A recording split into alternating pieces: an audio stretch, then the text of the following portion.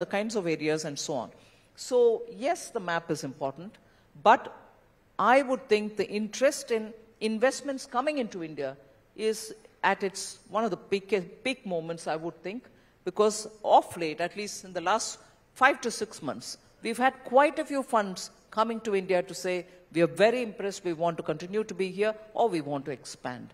So I would look at that as a very strong indicator that this picture will only improve and keep growing.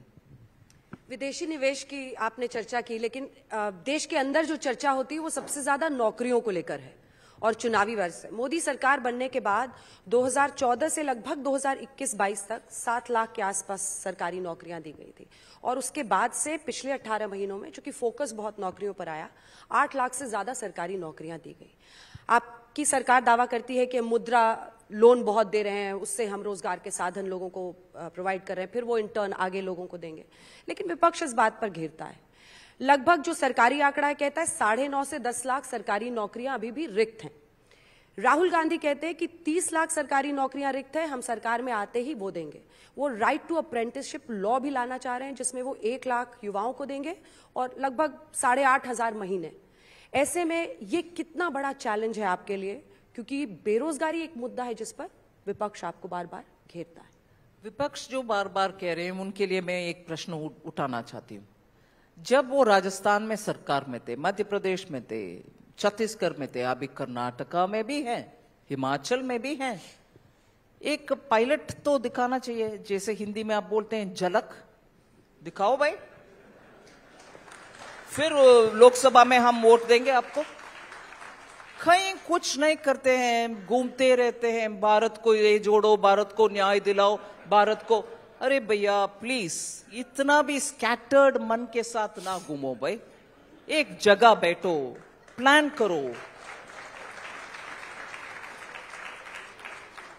What do you think, madam, of the Right to Apprenticeship Act? This is one of Congress's big promises. They say, like we brought Manrega, like we brought the Food Security Act, we now intend to bring the Right to Apprenticeship Act. Given that unemployment uh, is one of the big challenges any government faces, is this a workable solution? What do you think of it as finance? I want to ask of you, Rahul.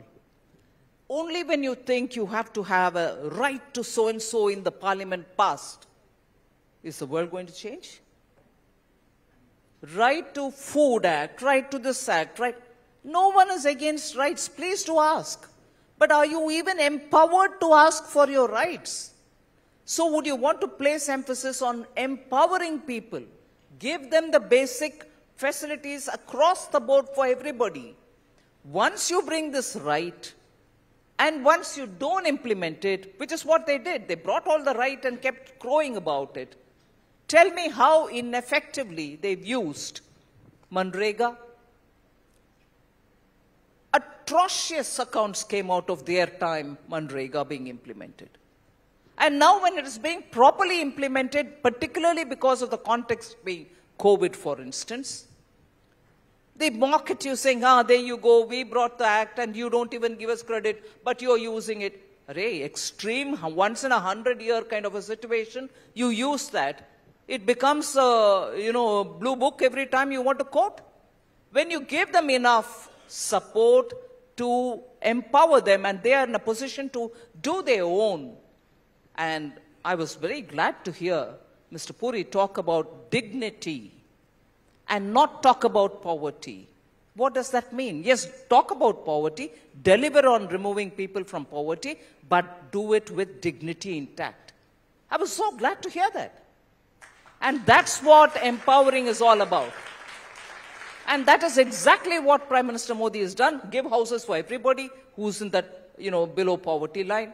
Make sure they don't have to run helter skelter. Use technology to say wherever they are, they can get their food quota and so on. So, right to skilling. Isn't that what government is doing today? Skilling is happening all over the country. Not just for, you know, those usual skills. Lathe machine chalao, sewing machine chalao, papad banao. No. Even on AI. Even to use technology. Imagine the rural environment today And all of us talk about women, women's rights. Sorry, Rahul, I'll have to take a minute on this.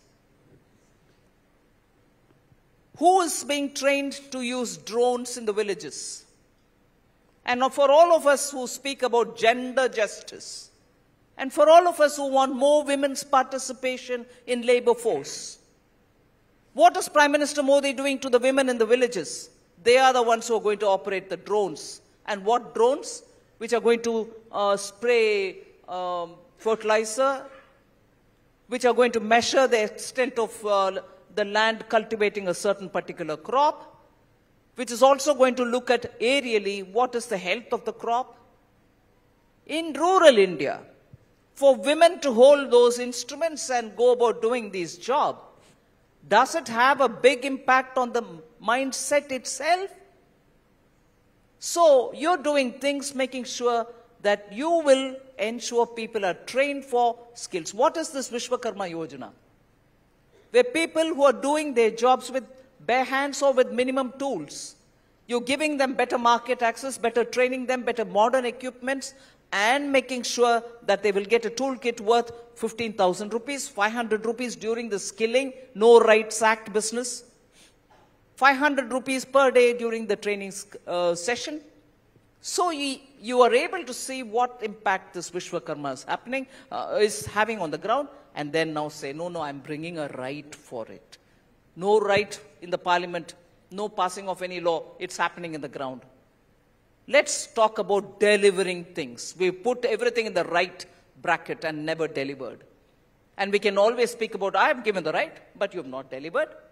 Before she became finance minister, Nirmala Sitharaman, I'm sure most of you remember, used to be a highly pugnacious spokesperson of the Bharatiya Janata Party. As finance minister, she puts on a more sophisticated uh, financial avatar. It's at moments like these that uh, the political, the political boxes, the gloves come on, and then she's throwing some political punches. So thank you for that.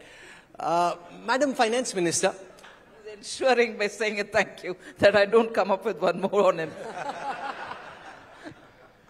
Madam Finance Minister, recently we got to know the identity of the donors in the electoral bonds. And as I was scrutinizing the list, there are a couple of questions that I'm sure are in the minds of everyone here. A, the fact that the BJP gets the large majority of the funding, which can be partly explained by the fact that you're the party in power and everybody wants to be with whoever they think can win. But there are two other questions. One, that the country's major corporate groups, and I don't want to name any one or two, but the big funders who you'd imagine are the ones who are spending their money because it's now through white channels, are not on that list. They're not amongst the major donors, and I'm wondering, okay, if those guys are funding, how's that money coming and how are they funding and why is it not through white channels? The second question, Madam Finance Minister, is this, that out of the 30 top funders, 14 corporates had some kind of investigative agency chasing them for some case, which would lead everyone sitting here to wonder whether this is some kind of a buy or sell some protection. If these agencies are chasing you, fund through the electoral bond route in the hope that you can buy yourself some protection. Now, the Modi government's promise was, we will not let this happen. No way, no crony capitalism. And yet the data seems to be telling a story which leads to many questions, Madam Finance Minister. I think you've based yourself on huge assumptions. That the money is given after the ED raid happened. For all you know, the money was given earlier. And in spite of that, we went knocking at their doors. Am I making sense? No? what if the companies gave the money and after that we still went and knocked at their doors through ED? Is that a probability or not? That's an assumption which Rahul has made that ED went and knocked at their doors. They wanted to save themselves and therefore they came up with the funds. One. Second assumption in that itself is, are you sure that they've given it to BJP? They probably gave it to the regional parties. What makes you assume so many things and build a narrative? The government has given and the state bank has done its job as per the orders given by the state, uh, Supreme Court. Now you do any hair splitting on it, but do it without assumptions of this nature. ED, and therefore they gave you. But the rest of them didn't, uh, the rest of them have given God knows to who. Which ED sent, was sent to them? And they have also given it. I think, you know, smart, hard working research will do good rather than lazy journalism. Uh, Finance Minister, uh, a, a quick follow up on this. Uh, one, do you think uh, loss making firms and shell companies should be barred from political funding? And the second question that is related to this is that why is there so much doubt about corporate funding? Don't companies and businesses, if we have a right to vote, we also should be having a sort of right to finance elections of our choice?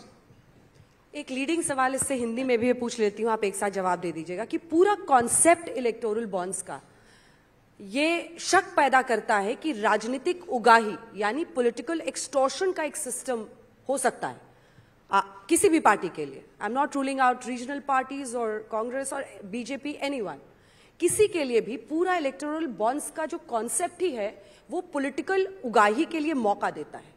क्या ये सही नहीं है? अंजना जी मैं सिर्फ़ एक बार विस्तार से ये विषय बोलना चाह रही हूँ and also addressing your Siddharth your question इससे पहले क्या था? मैं फुल्ली कॉन्शियस हूँ कि ये मामला कोर्ट में अभी भी चालू है, चल रही है। Verdict is come. SBI is got to be submitting, it is submitted. मगर विषय इसमें एक प्रश्न मेरे मन में आता है, क्या इससे पहले जो सिस्टम था वो हंड्रेड परसेंट परफेक्ट था क्या? नहीं. And let's let's just recall what my what when he brought this electoral bonds Arun Jaitley ji said इधर उससे बेहतर है भाई, कम से कम पैसा जो पार्टियों को चलता है, वो अकाउंट के द्वारा चलने दो. That is why electoral bonds money is going into the account from account to party's account so so, कम से कम जो पार्टी तक पहुँचता है पैसा कोई भी पार्टी क्यों ना हो वो वाइट पहुँचता है। It's not a perfect system but you moved from almost a wild law and to one self kind of a situation where everybody did what they wanted so we move from that to this system this is certainly not perfect but one bit better now that's not it fine In the wisdom of Supreme Court, they thought this is not the way to go about it. Sorry. All right. इससे बेहतर system आने तक अभी क्या हम वापस उसी जमाने पर चले गए हैं कि जो मर्ज़ी कर सकते हैं कैश में दो चेक में दो कुछ में दो कुछ और में दो वगैरह I am not criticizing the Supreme Court's judgment, but it is an analysis which runs in my mind, and I'm sure all of us are thinking about it. So, a system which was not perfect, from a system which was completely imperfect, was brought in, consciously brought in, saying at least one aspect of it will be cleaner. Well, it's not approved by the Supreme Court, all right. So, therefore, अभी हमारा प्रयत्न ये होना चाहिए कम से कम इससे बहुत सारे सीखना लायक है कि अभी जो कानून जब भी होगा होगा कि नहीं होगा I am not commenting on it it's not a headline for Rahul to say finance minister say new government there be I am not say anything I am only say if at all whenever something comes we have to introduce elements of lesson that we taken from this to make sure there is a transparency That transparency will have to be progressively better than each earlier system. Madam Finance Minister, we are coming to the... And yeah, sorry. Yes. Siddharth, you're right. Why not? If corporates can fund, they can fund. But of course, under which scheme of things, which law, all that will have to be worked out. Nobody is saying no parties cannot be funded. But, but loss making and uh, shell huh, companies. Yes, there are issues on those sort of things, which of course we'll have to be looked into. You can't afford to have shell companies or you know loss making companies. That's a very valid point. Madam Finance Minister, we are coming to the close of the first session of the India Today conclave. And before we end, I have one final question. You know, when we'd spoken to you at the peak of the crypto hype, you'd said you don't believe in the crypto asset, that this is pure speculation. I just want to call this visualization, which goes back a few years, looks at the crash, which is when a lot of people sitting here would have imagined that the crypto story is over, this was speculation, this is like tulips, this was never real. And then voila, the cockroach bounces back. Now, when you look at this chart now, more and more serious traders and firms are looking at crypto as an asset, saying if it survived so many falls, there is some underlying resilience, which even if doesn't make sense simplistically, but obviously is there, which is why it's kind of bounced back. And now, given the fact that crypto supply is also coming down, in the context of how market fundamentals are moving at this moment, is that leading the government also potentially to reassess its position on cryptos? reassess its position. Its position has always been this that assets created in the name of crypto can be assets for trading, assets for speculation, assets for money making, assets for many other things. We hadn't regulated them then, we haven't regulated them even now, but they cannot be currencies, is what I've always held, and that's the Government of India position also. Currencies are to be issued with the fiat of the government or the central bank of the day. So that is a different story. So if they're coming back, there's resurgence, that is the asset which is being created for speculation or for trading or for whatever purpose. And it is still unregulated in India. And that is why we thought it fit to raise it in the G20 forum because as it is so technology driven, and it will have a bearing on cross-border payments and so on. If one country regulates and others don't, it'll be an easy way of moving money, uh, round tripping or funding drugs or even terrorism and so on. So we wanted to create a kind of a framework by taking it to the level of G20. It has been very well received, and I'm sure there will be some framework emerging. With that, ladies and gentlemen, we come to the end of the first session of the India Today conclave. One of the critiques, frankly, of the state of India's democratic play at this moment is the allegation that ministers in the government don't take tough questions and that journalists don't ask tough questions. I think the first session of the conclave should whip your appetite and give you the sense that Madam Finance Minister didn't have anything about what to ask, what not to ask, questions that could potentially be asked were asked, and she answered them, throwing a few punches as bravely as was possible. Thank you very much. We appreciate the candor and we appreciate your presence. Madam Finance Minister, can we have a round of applause for Finance Minister Nirmala Sitharaman for setting the tone and the stage for this, the 21st edition of the India Today Conclave. Thank you, Nirmala ji. Thank you. Ladies and gentlemen, as we raise a warm applause for the Honorable Minister, ma'am, would you stay up on stage for just a minute? Ma'am, ma'am, just one minute if you could stay up on stage and accept a small token of our appreciation. I'd like to call upon uh, Executive Editor-in-Chief, Vice Chairperson, the India Today Group, Ms. Kalli Purie, to come up on stage and present a small token of our appreciation to the Honorable Minister. Ladies and gentlemen, please raise a warm applause for Union Minister Finance Corporate Affairs Nirmala Sitharaman.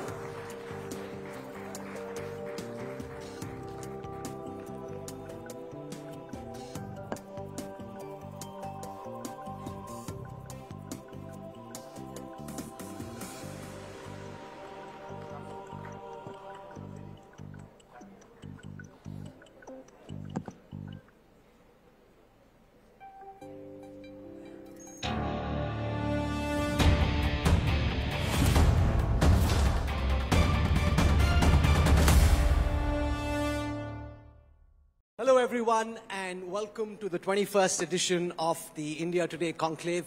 It's an absolute delight and pleasure to have all of you with us. Can we have a round of applause as you welcome our Finance Minister Nirmala Sitharaman? The theme of this year's conclave is India's rapidly changing position in the emerging global order. And central to that is the strength of the Indian economy. The International Monetary Fund has projected, and I have a slide that's coming up behind your screen, that India could be a $6.9 trillion economy by 2028. What's the unfinished reform agenda? What more do we need to do to move with the maximum speed and purpose possible? And what are the pitfalls that can derail us along the way? To talk about this, we're kicking off the first session at this year's conclave with our finance minister, who now is one of India's most experienced finance ministers. And at this moment, the odds on favorite to present a seventh budget in July potentially. So Nirmala Sitharamanji, welcome to the conclave and it's an absolute pleasure to have you.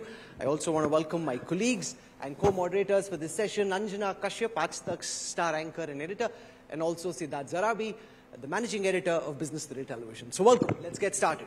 Ma'am, can you begin by outlining the unfinished reform agenda? To achieve that kind of growth from where we are right now, if your government gets another chance, what more do you believe needs to be done beyond the reform measures that you've already put in place for India to unlock its true potential and rise and grow at the maximum speed possible? Thank you, India Today, for having me over. And uh, I thought uh, Rahul's uh, comment about most experienced was a bit tongue-in-cheek. He, he comes out as somebody who doesn't believe in it himself. But never mind. I'll allow that. Um, in no order of priority, the right, kind of reforms which we need to undertake now, I would think, in whichever sector you would want to take it, will have to have greater coordination between the center, the states, and the urban local bodies, panchayats, and so on. In the last 10 years, my experience, at least limited to my experience, I can tell you, you may do wonderful um, futuristic reforms at the central government level.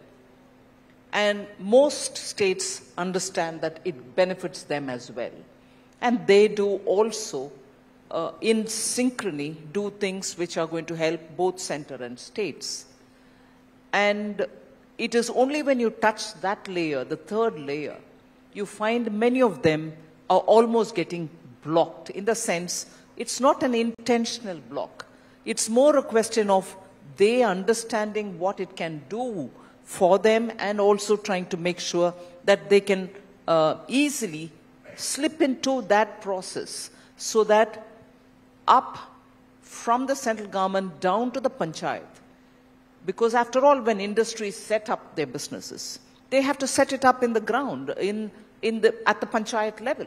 So if all those great reforms are happening elsewhere and it's not really borne out in the panchayat level, it's not going to help at all. So there has to be a lot of work done from top level in the sense of center, state, and the third level, uh, you know, elected governments. So that is one thing I think across the sectors, when you undertake reforms, it has to have that effect of cascading down to the uh, lowest level. You know, the finance minister felt maybe that that comment was tongue-in-cheek. It wasn't. It's an I absolute knew you were going to come statement back of fact. And she is indeed one of India's most uh, experienced finance ministers now and in very august company. And truly, without tongue being in cheek and just stating the fact for is the odds-on favorite to be back in July. Both of those are Thank absolute you. statements of fact. She's just being humble and modest, and that's just the way she is. On the tricky aspects of reform, so the government tried to deal with uh, land reform. The government tried to deal with agricultural reform. Both occasions, the government and the prime minister ended up burning their hands and backtracked. GST reform again has been an area where put, uh, progress hasn't been made beyond where we've reached. Do you think those are areas that you have a philosophy or a framework to be able to navigate, or will they remain just political hot potatoes? Um, with due respects to those who protested on those, I would like to say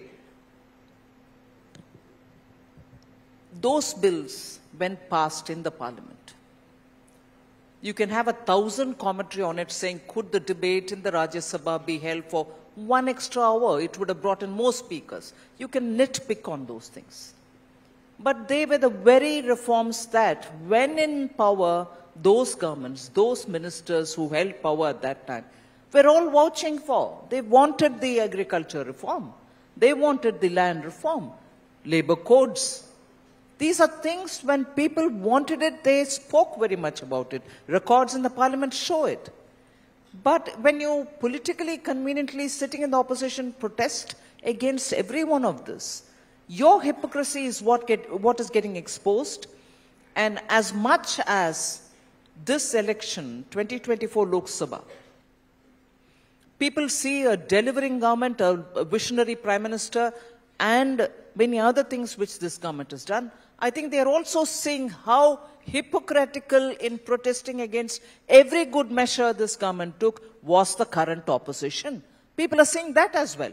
So if the environment is building up for Prime Minister to come back, it's become it's coming it's getting built up on the one hand, two thirds on what the government has done and the vision with which this government is functioning, and at least a third goes to those hypocrites who wasted the parliament's time.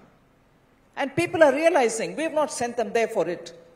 Hypocrites who spoke in favor of some policies who are speaking against it now. So it is a blend of a hypocritical opposition which has got exposed and the fantastic work which Prime Minister has done during most difficult time with transparency. 10 years, every journalist, I'm sure, searched for at least one little straw of corruption. You couldn't find one. Anjana. हाँ वित्त मंत्री जी अ, जब प्रधानमंत्री ने सबसे पहली बार तीसरे term की बात की तो वो ऐसे ही हॉल में बैठे थे जहां बहुत बड़े बड़े बिजनेस टाइकून्स बैठे हुए थे और उसका सारा का सारा बोझ आपके कंधों पर डाल दिया क्योंकि उन्होंने कहा कि तीसरी सबसे बड़ी अर्थव्यवस्था हम अपने देश को बनाएँगे। 370 का टारगेट भी दे दिया है। तो तीन बहुत ज़्यादा है जो आपको मैनेज करने हैं। लेकिन सवाल आता है कि क्या आप ये चुनौती देखती हैं? आरबीआई से लेकर प्रधानमंत्री सबने रेवड़ियों पर बहुत कंसर्न जताया। यहाँ तक आरबीआई ने कहा कि परिस्थितियाँ कई राज्यों में, राजस्थान, पश्चिम बंगाल बहुत खराब है, इसको रोकना ज़रूरी है।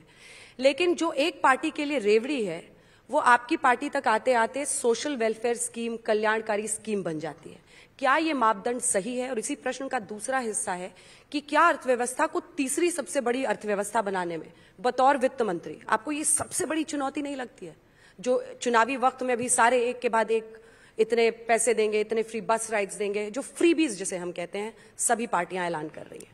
Anjana ji, you're as usual trying, and I'm going to do it in English. I'll try to speak in Hindi, but I'll lose my um, thought flow because, you know, I'll be searching for words in Hindi. You're as usual, and as is typical with media, and I don't blame you for it. You do this balancing act. What is Revdi for you is not Revdi for them. Come on. You do not have a budgetary support for some fantastic idea that you throw about. And then once you get the vote, you don't have money to fund that. And then you go about blaming the central government, which has not sought vote with you for the same Revdi. But you want the central government to fund you because you had these fancy baskets of lollipops given for the people. Look at the example, and I'm sitting here to talk politics. Look at the example of Karnataka. A state one year ago was doing very well. Global Investor Summit drew the best of people to come and invest in that state because it's a fantastic state, draws excellent talent from all over the country, beautifully endowed, and has the right environment of blend of culture, industry, enterprise, and everything else. Now, what is the state of affairs in Karnataka? And who is to blame? And it, it actually hurts me so much to say, even Bengaluru city doesn't have drinking water. All within a year, you, you've seen what the Revdi can do. And now you want center to fund your Revdi? And you blame saying center is discriminating? And there is also another state which has taken us to the court, and I'm quite happy to go to the court and put all the facts before the court. For the mismanagement that states do, I would want the media to ask more meaningful questions of those states as well. Stop this debate of balancing. What is revdi for you is not revdi. Come on, tell me. Ask them to show the budgetary statements to say, I have made provision for this particular thing, so I don't need newer taxes on my own people. I've made budgetary provision for this. I will not blame the government if it doesn't give me one paisa extra than what the Finance Commission has asked me for. Ask such questions, Anjana. Then you'll know what is revdi and what is not. Uh, Finance Minister, I want to follow this question up uh, with a broader point about the north-south divide. Uh, fastest growing economy in the G20 nations, faster than any of our uh, rivals. Fourth largest stock market, which is turbocharged right now. But do you think the north-south divide is a crucial uh, concern that will escalate during the election uh, campaigning? Yeah, obviously, because they'll want to escalate it because it can keep the narrative going in the direction in which they want uh, the narrative to go. But matter of fact, this has been one of those pet themes of state level parties which think it's good to hit at the center and nobody from the center can come and defend themselves in that state, for instance. So when you have this debate going, I grew up in a Tamil Nadu, which I've heard, even with the Congress party in power in the center, and subsequently every time there was an alliance with the um, state party, Congress party was an alliance. Even then I've heard comments like, Vadakku varudu terku meaning north prospers and south is um, is ragad ragad karke kuch hota hai you become thinner and uh, paler and everything? Gisrai. Ah. Gisrai. So this kind of a narrative I've heard even Tamil Nadu, even when centre was ruled by Congress party. It's a typical um, political narrative which particularly the Dravidian parties, particularly the DMK, has always used to give an impression that centre is not doing its due to the state. And none of the ministers in the centre even one or two of them who are from Tamil Nadu themselves, would take it upon themselves to go and defend the center. I would want to believe the center did not discriminate the states even then and even now. But ministers who were part of the central government even at that time, alliance partners of the party DMK, wouldn't go to Tamil Nadu and take the pains to say, no, center doesn't discriminate. So that narrative happily found traction. But today, no, sorry, each one of us go there to say what we are doing, and therefore there are friction points in the narrative. So that is a typical Dravidian political narrative which believes in showing this country as being different in the south and the north being ruled by mostly or largely by non-Tamil or non-South Indian language speaking people in power, so it sells as an argument. But that's not fair at all. Madam Finance Minister, as we look back at the 10 years of the Modi Sarkar, on the economic report card, there are areas of strength and achievements, and then there are some concerns. I want to draw your attention to two visualizations compiled by the India Today Data Intelligence Unit and get you to comment on your strategy to deal with these. These are economic realities. I want to understand how you're dealing with them. I'll take uh, shrinking consumer spending first. So on your screen coming up is a visualization that maps uh, consumer spending going back two decades. So if you see, uh, consumer spending over the last couple of years has actually come down uh, to levels below where we were a couple of decades ago. Do you see this as being normal? There's a lot of concern in some economic circles that consumer spending is going down and why and whether beyond the big headline economic growth numbers, there is underlying stress. So that's one. The second is to do with household savings. So if you call up the visualization on household savings, here as well, uh, there is some concern in terms of whether household saving, which has really been one of the strengths of the Indian economy because Indians, unlike more profligate consumers in the West, tend to save more, whether that is changing and whether that again at some level uh, is representative of economic stress. So if you look at those, I'm sure you've had an opportunity to absorb what the trend lines are suggesting. So Madam Finance Minister, your sense on the concern that behind the growth numbers is an underlying stress reflected and captured in these charts. I'll first take on the household savings. Yes, the number which is shown is based on savings, small savings. And there are very many schemes through which we are trying to capture with better interest rates, like the one which we uh, gave in honor of women. We said you, uh, you take up a fixed deposit before the uh, 31st of March 2024, you get a higher rate of interest, and many women have started uh, investing money into the fixed deposit because the rate of interest was much higher than what otherwise the banks would give.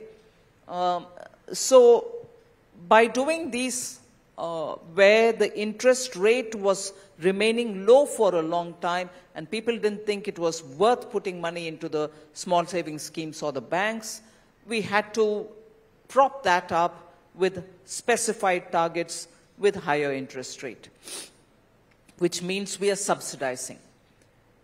But what is also equally happening and which doesn't get captured in this is people today, when I say people, retail, small people, are also going to the stock markets. Not just going through mutual funds, but also going through demat accounts which they open on their own.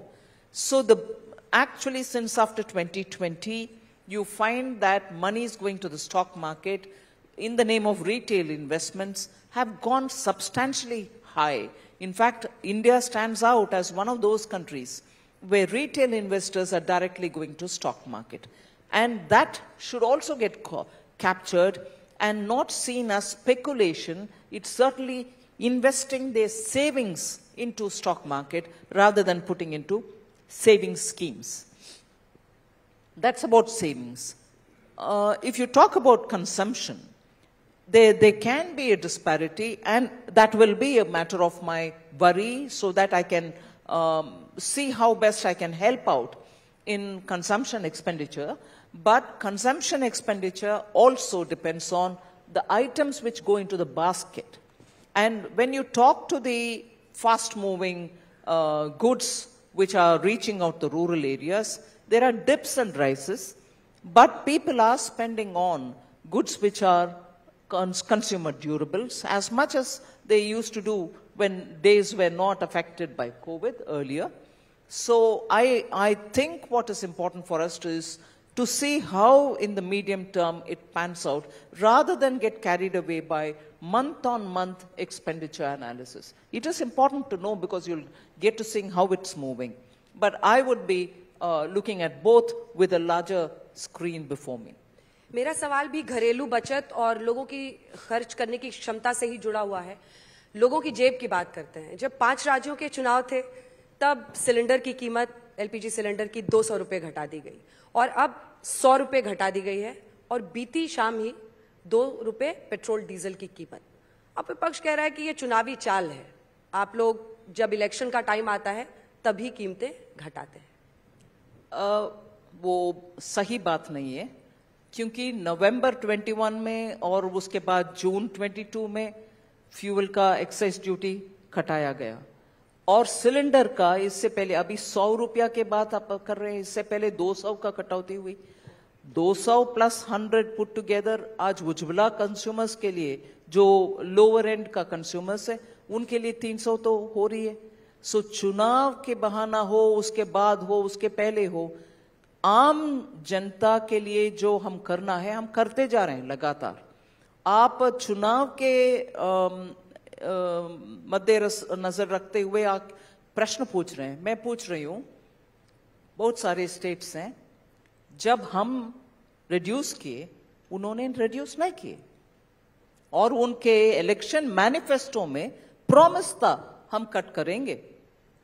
Promise को भी माना नहीं है चुनाव को भी माना नहीं है कभी खाटा भी नहीं है। सो so, प्रश्न हमसे उठाना है या उनसे उठाना है? हम कुछ ना कुछ बहाना दिखे दिखाते हुए, चाहे वो इलेक्शन भी क्यों ना हो, हम कट तो कर रहे हैं। मैं पूछ रही हूँ उन लोगों से जो मैनिफेस्टो में लिखे हैं और अब उस समय भी नहीं किया, अभी भी नहीं कर रहे हैं। उनसे पूछ लो, आम जनता के ध्यान, वोट के समय आप प्रॉमिस कर रहे हो और फिर भी जीतने के बाद काम तो नहीं कर रहे finance minister you mention the stock markets and the and the growing uh, stock market uh, equity investing cult. But my question is, do you see any excesses building up uh, in the economy? Are certain areas of our economy getting overheated? The regulators seem to be a little concerned. They have expressed public warnings froth in the market, valuation bubbles, unsecured lending. As the finance minister of India, what is your view on this? I'll allow the markets to play on their own. Because as much as all of us can observe that our stocks are overvalued or our stocks, stocks don't represent the real value, whatever be it, I think the markets will play it out. And uh, we should leave it to the wisdom of the market because all of us have seen that despite huge fluctuations globally, Indian market has maintained a certain level of sanity. It hasn't really gone too uh, violent this way or that way. So I'll place a lot of trust on the market. Madam Finance Minister, you know, I want to talk to you about two things. If you look at the overall numbers for foreign direct investment and foreign portfolio investment, the numbers show that we're at historic levels or we're doing much better than in the past. However, many economists would argue that that's not the full picture, that the right way of looking at this, and again I want to call two visualizations on the screen, the right way of looking at this is to look at foreign direct investment and foreign portfolio investment relative to our GDP. So if we were to do that conversion and have these on our screen right now, so just so that everyone's on the same page, the light cream represents foreign direct investments, where in 2001, if foreign direct investment was about 0.9% of the size of the GDP as a percentage, it's now 0.7. So it went up in 2010 and has been a flatline curve tending downwards uh, till the last numbers are available for Q3 of uh, the last year. So that's foreign direct investment. Foreign portfolio investments which come into the markets again is a zigzag flatline curve, not really tending upwards as a percentage of the GDP. They're saying naturally if the size of the economy keeps increasing, you look at the overall numbers, that looks very impressive, but convert it back into a percentage of the GDP and then the numbers tell their own picture. So here we've gone up from 0.6 to 1.3, but whether that is enough, optimal, and what more can be done. So how do you look at these numbers, the foreign attraction to India relative to the size of the current GDP? Madam Finance Minister. Um, they are very important indicators, no doubt. We'll also have to place them in the context. That is, whether the Indian market, Indian economy, the macroeconomy are all attractive enough for foreign direct investment to come. And whether for the FPIs, which are a lot more mercurial in their functioning, whether there's enough for them to earn. But that is looking at the one side of the coin, that is the Indian macroeconomic situation. But you'll also have to look at the global situation, whether the fund is ready to come here or are there attractive markets outside? Despite that, if they have to come, what are the kind of things we need to do? So when the question is asked as to what the government has to do to keep FDI consistently coming to India, you'll have to every time pitch that picture against what is developing globally. So if the global um, situation is strong, you will have to do a lot more to attract them. And if the volatility is much more there, then you know that you will naturally project your macroeconomic situation being stable and attract them. I'm telling you the larger principle. But of late, India's macroeconomic consistency has been strong and that is why you find FDIs coming in. Discussions with fund managers, discussion with sovereign funds, all of whom come to India to ask as to what is it that they can get in into, which are the kinds of areas and so on. So yes, the map is important, but I would think the interest in investments coming into India is at its one of the peak, peak moments, I would think, because of late, at least in the last five to six months, We've had quite a few funds coming to India to say, we are very impressed, we want to continue to be here, or we want to expand. So I would look at that as a very strong indicator that this picture will only improve and keep growing. विदेशी निवेश की आपने चर्चा की लेकिन देश के अंदर जो चर्चा होती है वो सबसे ज्यादा नौकरियों को लेकर है और चुनावी वर्ष है मोदी सरकार बनने के बाद 2014 से लगभग 2021-22 तक सात लाख के आसपास सरकारी नौकरियाँ दी गई थी। और उसके बाद से पिछले 18 महीनों में, चूँकि फोकस बहुत नौकरियों पर आया, आठ लाख से ज़्यादा सरकारी नौकरियाँ दी गई। आपकी सरकार दावा करती है कि मुद्रा लोन बहुत दे रहे हैं, उससे हम रोज़गार के साधन लोगों को प्रोवाइड कर रहे हैं, फिर वो इंटर्न आगे लोगों को देंगे। लेकिन विपक्ष इस बात पर घेरता है। लगभग जो सरकारी आंकड़ा कहता है साढ़े नौ से दस लाख सरकारी नौकरियाँ अभी भी रिक्त हैं। राहुल गांधी कहते हैं कि 30 लाख सरकारी नौकरियाँ रिक्त है, हम सरकार में आते ही वो देंगे। वो राइट टू अप्रेंटिसशिप लॉ भी लाना चाह रहे हैं, जिसमें वो एक लाख युवाओं को देंगे और लगभग साढ़े आठ हज़ार महीने। ऐसे में ये कितना बड़ा चैलेंज है आपके लिए? क्योंकि बेरोजगारी एक मुद्दा है जिस पर विपक्ष आपको बार बार घेरता है। विपक्ष जो बार बार कह रहे हैं, उनके लिए मैं एक प्रश्न उठाना चाहती हूँ। जब वो राजस्थान में सरकार में थे, मध्य प्रदेश में थे, छत्तीसगढ़ में थे अभी कर्नाटका में भी हैं, हिमाचल में भी हैं, एक पायलट तो दिखाना चाहिए, जैसे हिंदी में आप बोलते हैं, झलक। दिखाओ भाई। फिर लोकसभा में हम वोट देंगे आपको। कहीं कुछ नहीं करते हैं, घूमते रहते हैं, भारत को ये जोड़ो, भारत को न्याय दिलाओ, भारत को अरे भैया प्लीज इतना भी स्कैटर्ड मन के साथ ना घूमो भाई एक जगह बैठो प्लान करो What do you think, madam, of the Right to Apprenticeship Act? This is one of Congress's big co- uh, promises. They say, like we brought Manrega, like we brought the Food Security Act, we now intend to bring the Right to Apprenticeship Act. Given that unemployment uh, is one of the big challenges any government faces, is this a workable solution? What do you think of it as finance? I want to ask of you, Rahul. Only when you think you have to have a right to so and so in the parliament passed, is the world going to change? Right to Food Act, right to this act, right? No one is against rights. Please to ask. But are you even empowered to ask for your rights? So, would you want to place emphasis on empowering people? Give them the basic facilities across the board for everybody. Once you bring this right, and once you don't implement it, which is what they did, they brought all the right and kept crowing about it. Tell me how ineffectively they've used Manrega. Atrocious accounts came out of their time, Manrega being implemented. And now, when it is being properly implemented, particularly because of the context being COVID, for instance, they mock at you saying, ah, there you go, we brought the act and you don't even give us credit, but you're using it. Array, extreme, once in a hundred year kind of a situation, you use that. It becomes, a, you know, blue book every time you want to quote. When you give them enough support to empower them and they are in a position to do their own, and I was very glad to hear Mr. Puri talk about dignity and not talk about poverty. What does that mean? Yes, talk about poverty, deliver on removing people from poverty, but do it with dignity intact. I was so glad to hear that. And that's what empowering is all about. And that is exactly what Prime Minister Modi has done. Give houses for everybody who's in that, you know, below poverty line. Make sure they don't have to run helter-skelter. Use technology to say wherever they are, they can get their food quota. And so on. So, right to skilling. Isn't that what government is doing today? Skilling is happening all over the country.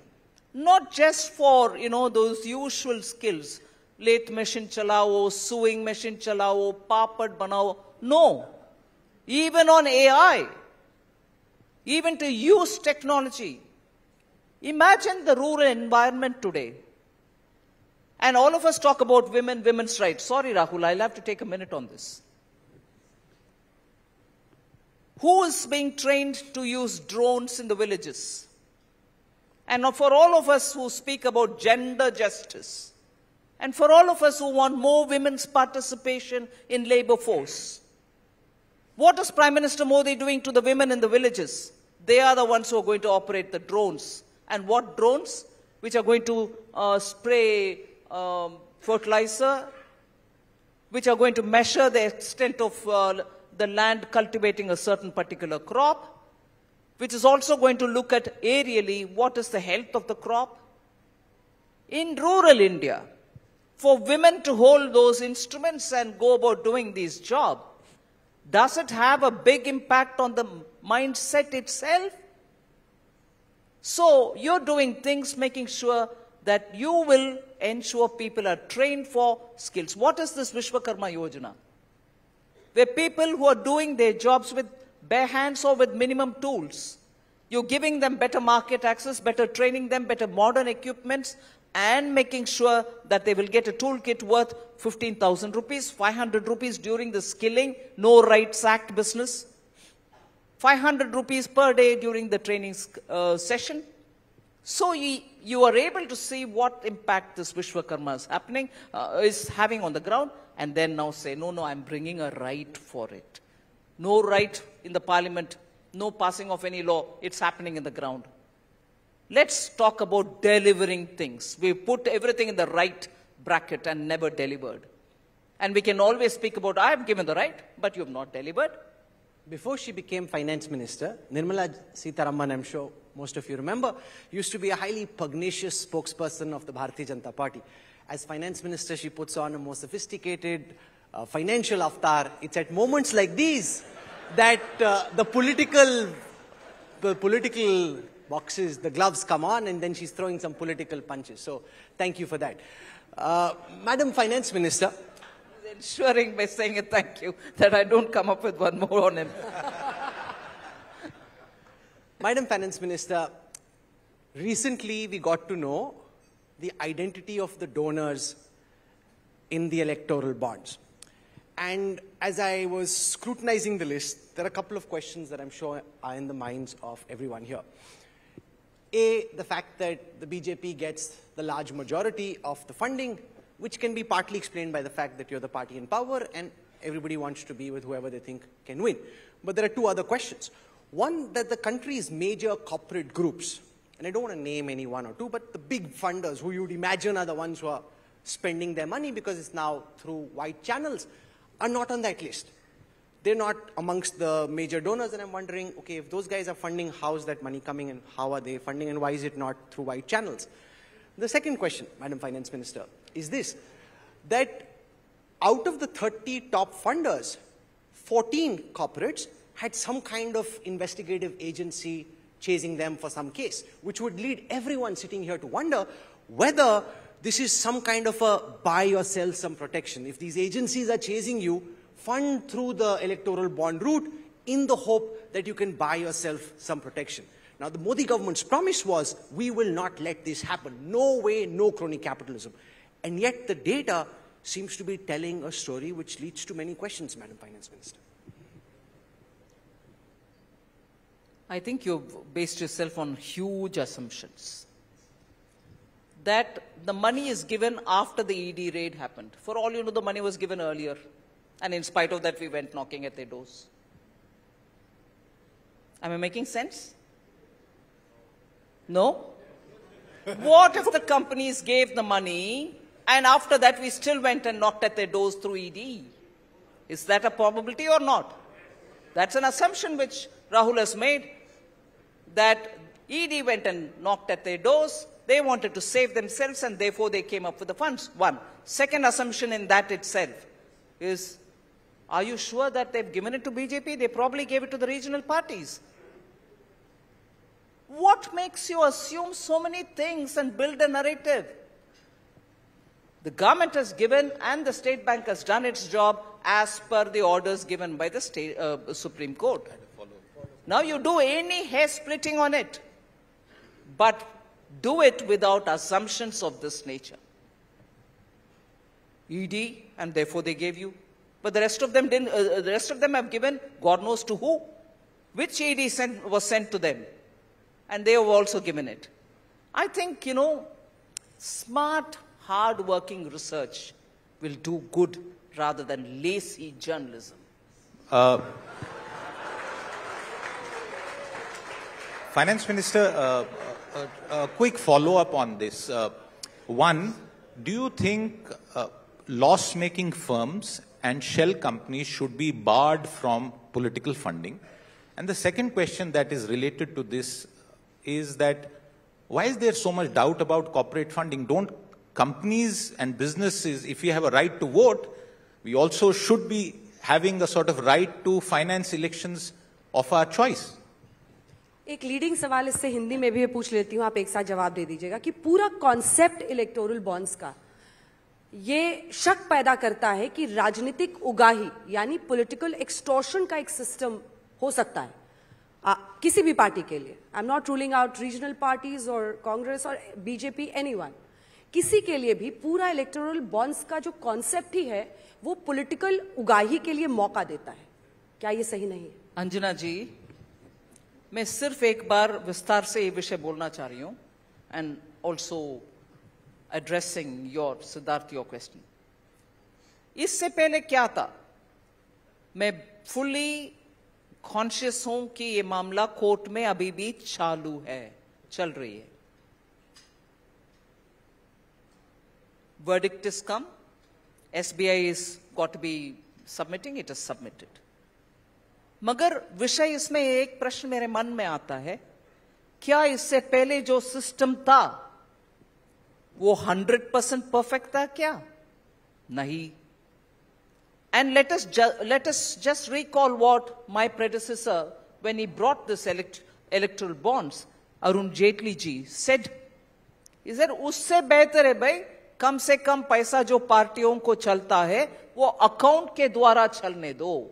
That is why erectile bonds मनीज are going into the accounts from account to parties account so कम से कम जो party तक पहुंचता है पैसा कोई भी पार्टी क्यों ना हो वो वाइट पहुंचता है it's not a perfect system but you moved from almost a wild law unto oneself kind of a situation where everybody did what they wanted. So we moved from that to this system. This is certainly not perfect, but one bit better. Now, that's not it. Fine. In the wisdom of Supreme Court, they thought this is not the way to go about it. Sorry. All right. इससे बेहतर system आने तक अभी क्या हम वापस उसी जमाने पर चले गए हैं कि जो मर्ज़ी कर सकते हैं कैश में दो चेक में दो कुछ में दो कुछ और में दो वगैरह I am not criticizing the Supreme Court's judgment, but it is an analysis which runs in my mind, and I'm sure all of us are thinking about it. So a system which was not perfect, from a system which was completely imperfect, was brought in, consciously brought in, saying at least one aspect of it will be cleaner.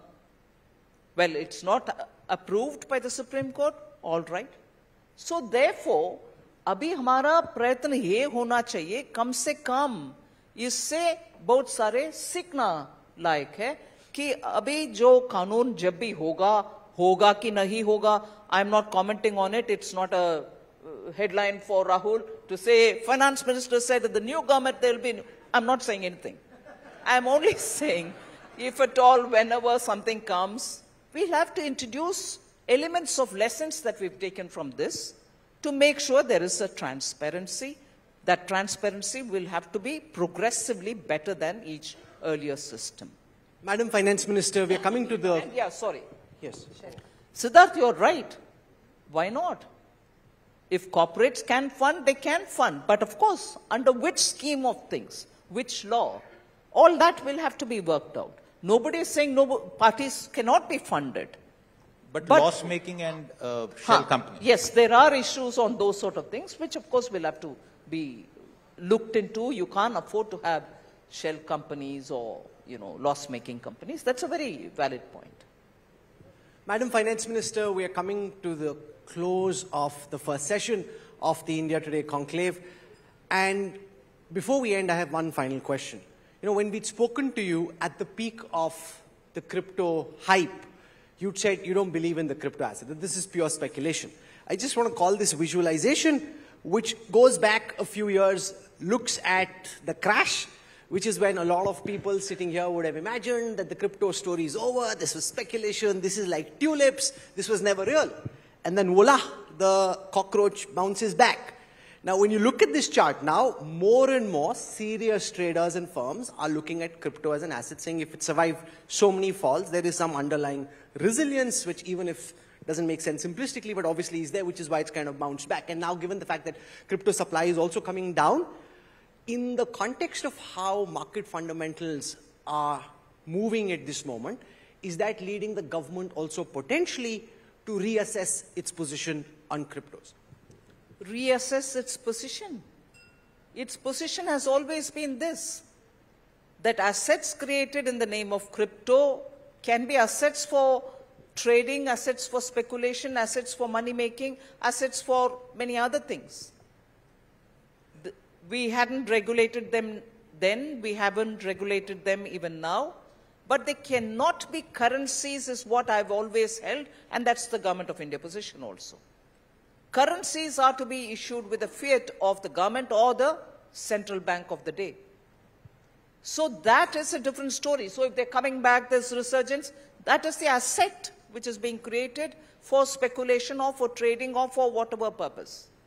And it is still unregulated in India. And that is why we thought it fit to raise it in the G20 forum, because as it is so technology driven, and it will have a bearing on cross border payments and so on. If one country regulates and others don't, it'll be an easy way of moving money, uh, round tripping, or funding drugs, or even terrorism and so on. So we wanted to create a kind of a framework by taking it to the level of G20. It has been very well received, and I'm sure there will be some framework emerging. With that, ladies and gentlemen, we come to the end of the first session of the India Today conclave. One of the critiques, frankly, of the state of India's democratic play at this moment is the allegation that ministers in the government don't take tough questions and that journalists don't ask tough questions. I think the first session of the conclave should whip your appetite and give you the sense that Madam Finance Minister didn't have anything about what to ask, what not to ask, questions that could potentially be asked were asked, and she answered them, throwing a few punches as bravely as was possible. Thank you very much. We appreciate the candor and we appreciate your presence. Madam Finance Minister, can we have a round of applause for Finance Minister Nirmala Sitharaman for setting the tone and the stage for this, the 21st edition of the India Today Conclave. Thank you, Nirmala ji. Thank you. Ladies and gentlemen, as we raise a warm applause for the Honorable Minister, ma'am, would you stay up on stage for just a minute? Ma'am, ma'am, just one minute if you could stay up on stage and accept a small token of our appreciation. I'd like to call upon uh, Executive Editor-in-Chief, Vice Chairperson, the India Today Group, Ms. Kalli Purie, to come up on stage and present a small token of our appreciation to the Honorable Minister. Ladies and gentlemen, please raise a warm applause for Union Minister, Finance, Corporate Affairs, Nirmala Sitharaman.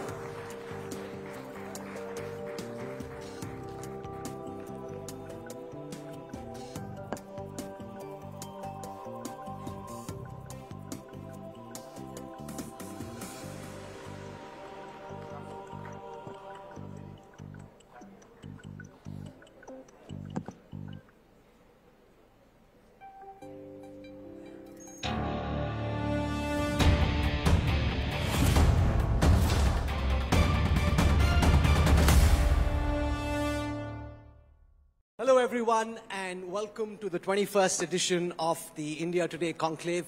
It's an absolute delight and pleasure to have all of you with us. Can we have a round of applause as you welcome our Finance Minister Nirmala Sitharaman? The theme of this year's conclave is India's rapidly changing position in the emerging global order. And central to that is the strength of the Indian economy. The International Monetary Fund has projected, and I have a slide that's coming up behind your screen, that India could be a $6.9 trillion economy by 2028.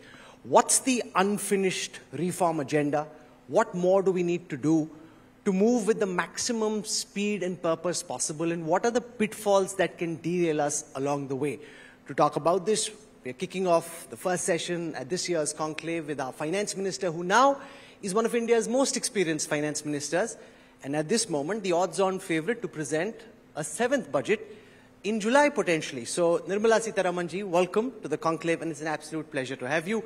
I also want to welcome my colleagues and co-moderators for this session, Anjana Kashyap, Aaj star anchor and editor, and also Siddharth Zarabi, the managing editor of Business Today Television. So, welcome. Let's get started. Ma'am, can you begin by outlining the unfinished reform agenda? To achieve that kind of growth from where we are right now, if your government gets another chance, what more do you believe needs to be done beyond the reform measures that you've already put in place for India to unlock its true potential and rise and grow at the maximum speed possible? Thank you, India Today, for having me over. And uh, I thought uh, Rahul's uh, comment about most experience was a bit tongue in cheek. He, he comes out as somebody who doesn't believe in it himself. But never mind, I'll allow that. Um, in no order of priority, the ri- kind of reforms which we need to undertake now, I would think, in whichever sector you would want to take it, will have to have greater coordination between the center, the states, and the urban local bodies, panchayats, and so on. In the last 10 years, my experience, at least limited to my experience, I can tell you, you may do wonderful um, futuristic reforms at the central government level. And most states understand that it benefits them as well. And they do also, uh, in synchrony, do things which are going to help both center and states. And it is only when you touch that layer, the third layer, you find many of them are almost getting blocked in the sense it's not an intentional block. It's more a question of they understanding what it can do for them and also trying to make sure that they can uh, easily slip into that process so that up from the central government down to the panchayat, because after all, when industries set up their businesses, they have to set it up in the ground, in, in the, at the panchayat level. So if all those great reforms are happening elsewhere and it's not really borne out in the panchayat level, it's not going to help at all. So there has to be a lot of work done from top level in the sense of center, state, and the third level, uh, you know, elected governments. So that is one thing I think across the sectors, when you undertake reforms, it has to have that effect of cascading down to the uh, lowest level. You know, the finance minister felt maybe that that comment was tongue in cheek. It wasn't. It's an I knew you absolute were going to come statement back of fact. And she is indeed one of India's most uh, experienced finance ministers now and in very august company. And truly, without tongue being in cheek and just stating the fact for is the odds-on favorite to be back in July. Both of those are Thank absolute you. statements of fact. She's just being humble and modest, and that's just the way she is. On the tricky aspects of reform, so the government tried to deal with uh, land reform. The government tried to deal with agricultural reform. Both occasions, the government and the prime minister ended up burning their hands and backtracked. GST reform again has been an area where put, uh, progress hasn't been made beyond where we've reached. Do you think those are areas that you have a philosophy or a framework to be able to navigate, or will they remain just political hot potatoes? Um, with due respects to those who protested on those, I would like to say those bills, when passed in the parliament, you can have a thousand commentary on it saying, could the debate in the Rajya Sabha be held for one extra hour? It would have brought in more speakers. You can nitpick on those things. But they were the very reforms that, when in power, those governments, those ministers who held power at that time, were all vouching for. They wanted the agriculture reform. They wanted the land reform, labor codes. These are things when people wanted it, they spoke very much about it. Records in the parliament show it. But when you politically conveniently sitting in the opposition protest against every one of this, your hypocrisy is what, get, what is getting exposed. And as much as this election, 2024 Lok Sabha, people see a delivering government, a, visionary prime minister, and many other things which this government has done, I think they are also seeing how hypocritical in protesting against every good measure this government took was the current opposition. People are seeing that as well. So if the environment is building up for prime minister to come back, it's become it's coming it's getting built up on the one hand, two thirds on what the government has done and the vision with which this government is functioning, and at least a third goes to those hypocrites who wasted the parliament's time. And people are realizing we have not sent them there for it. Hypocrites who spoke in favor of some policies who are speaking against it now. So it is a blend of a hypocritical opposition which has got exposed and the fantastic work which Prime Minister has done during most difficult time with transparency. 10 years, every journalist, I'm sure, searched for at least one little straw of corruption. You couldn't find one. Anjana. हाँ वित्त मंत्री जी अ, जब प्रधानमंत्री ने सबसे पहली बार तीसरे term की बात की तो वो ऐसे ही हॉल में बैठे थे जहां बहुत बड़े बड़े बिजनेस टाइकून्स बैठे हुए थे और उसका सारा का सारा बोझ आपके कंधों पर डाल दिया क्योंकि उन्होंने कहा कि तीसरी सबसे बड़ी अर्थव्यवस्था हम अपने देश को बनाएँगे। 370 का टारगेट भी दे दिया है। तो तीन बहुत ज़्यादा है जो आपको मैनेज करने हैं। लेकिन सवाल आता है कि क्या आप ये चुनौती देखती हैं? आरबीआई से लेकर प्रधानमंत्री सबने रेवड़ियों पर बहुत कंसर्न जताया। यहाँ तक आरबीआई ने कहा कि परिस्थितियाँ कई राज्यों में, राजस्थान, पश्चिम बंगाल बहुत खराब है, इसको रोकना ज़रूरी है। लेकिन जो एक पार्टी के लिए रेवड़ी है वो आपकी पार्टी तक आते आते सोशल वेलफेयर स्कीम कल्याणकारी स्कीम बन जाती है। क्या ये मापदंड सही है? और इसी प्रश्न का दूसरा हिस्सा है कि क्या अर्थव्यवस्था को तीसरी सबसे बड़ी अर्थव्यवस्था बनाने में बतौर वित्त मंत्री आपको ये सबसे बड़ी चुनौती नहीं लगती है? जो चुनावी वक्त में भी सारे एक के बाद एक इतने पैसे देंगे इतने फ्री बस राइड्स देंगे जो फ्रीबीज जिसे हम कहते हैं सभी पार्टियाँ ऐलान कर रही हैं। Anjana ji, you're as usual trying, and I'm going to do it in English. I'll try to speak in Hindi, but I'll lose my um, thought flow because, you know, I'll be searching for words in Hindi. You're as usual, and as is typical with media, and I don't blame you for it. You do this balancing act. What is revdi for you is not revdi for them. Come on. You do not have a budgetary support for some fantastic idea that you throw about. And then once you get the vote, you don't have money to fund that. And then you go about blaming the central government, which has not sought vote with you for the same revdi. But you want the central government to fund you because you had these fancy baskets of lollipops given for the people. Look at the example, and I'm sitting here to talk politics. Look at the example of Karnataka. A state one year ago was doing very well. Global Investor Summit drew the best of people to come and invest in that state because it's a fantastic state, draws excellent talent from all over the country, beautifully endowed, and has the right environment of blend of culture, industry, enterprise, and everything else. Now, what is the state of affairs in Karnataka? And who is to blame? And it, it actually hurts me so much to say, even Bengaluru city doesn't have drinking water. All within a year, you, you've seen what a Revdi can do. And now you want center to fund your Revdi? And you blame saying center is discriminating? And there is also another state which has taken us to the court, and I'm quite happy to go to the court and put all the facts before the court. For the mismanagement that states do, I would want the media to ask more meaningful questions of those states as well. Stop this debate of balancing. What is revenue for you is not revenue. Come on, tell me. Ask them to show the budgetary statements to say, I have made provision for this particular thing, so I don't need newer taxes on my own people. I've made budgetary provision for this. I will not blame the government if it doesn't give me one paisa extra than what the Finance Commission has asked me for. Ask such questions, Anjana. Then you'll know what is revdi and what is not. Uh, Finance Minister, I want to follow this question up uh, with a broader point about the north-south divide. Uh, fastest growing economy in the G20 nations, faster than any of our uh, rivals. Fourth largest stock market, which is turbocharged right now.